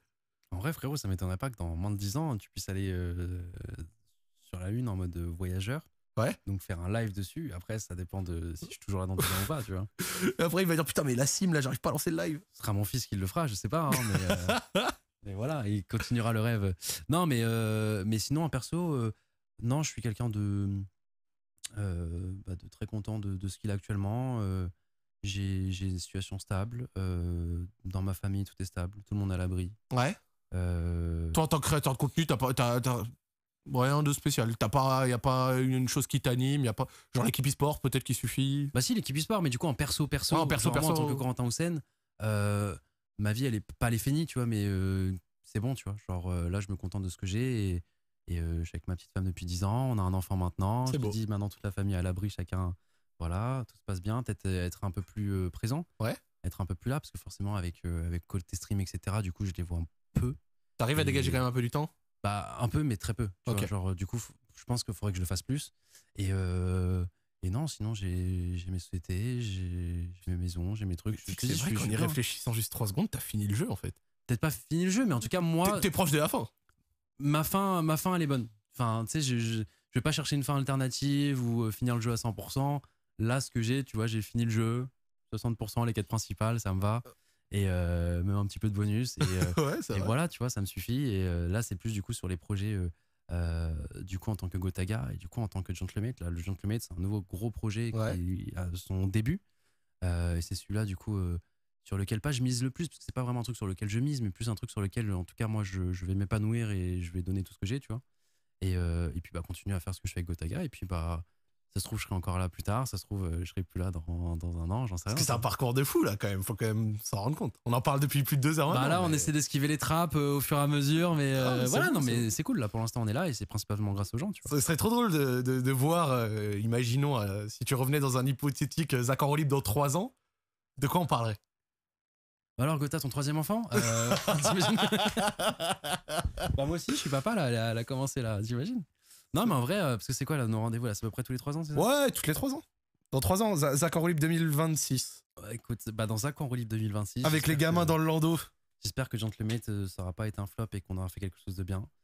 J'espère que. Bah, déjà, j'espère que je serai invité parce que du coup, si je suis plus là, les gars, euh, on sera peut-être pas dans Zach en roue libre. T'auras toujours une place dans mon cœur, frérot, même si tu arrêtes tout. Ouais, mais tu feras une petite dédit, tu diras bon, euh, vous savez le frérot Gotha, vous vous rappelez de Gotaga Celui Ouais, qui est date, hein. fini. Ah, il est finito. Bah, euh, sachez, ouais, il va bien, il fait sa petite vie. Ça se trouve, ce sera ça, j'en sais rien.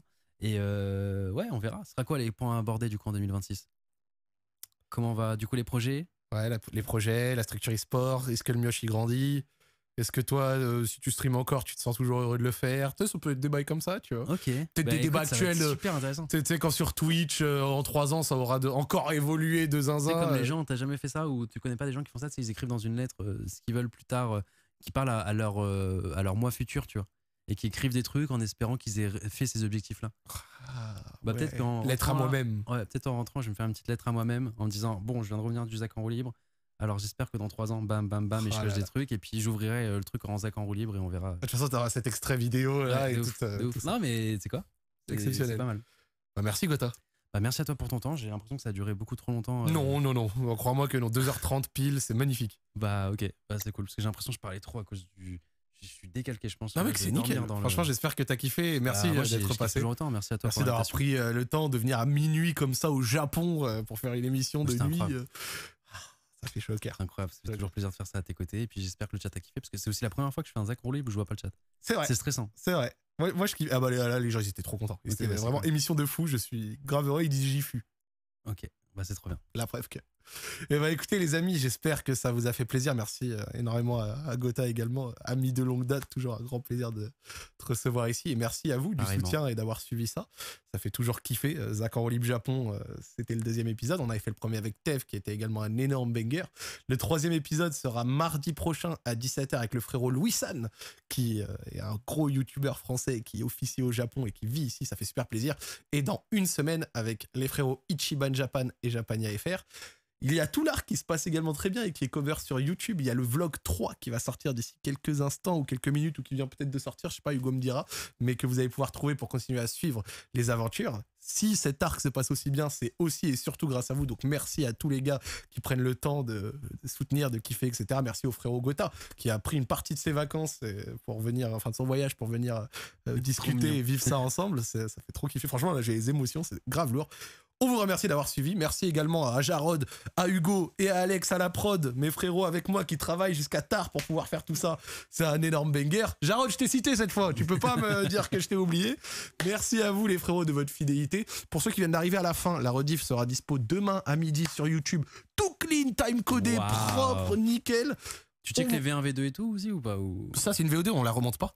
Waouh. Et oui, 2h30 clean. Les gens se mettent sur Zach en roulis pendant 2h30. Il a pas y coupure. Ça fait grave kiffer. Merci à vous d'avoir suivi, les gars. Et on vous souhaite une bonne fin de soirée. Ciao, ciao. Ciao, ciao tout le monde.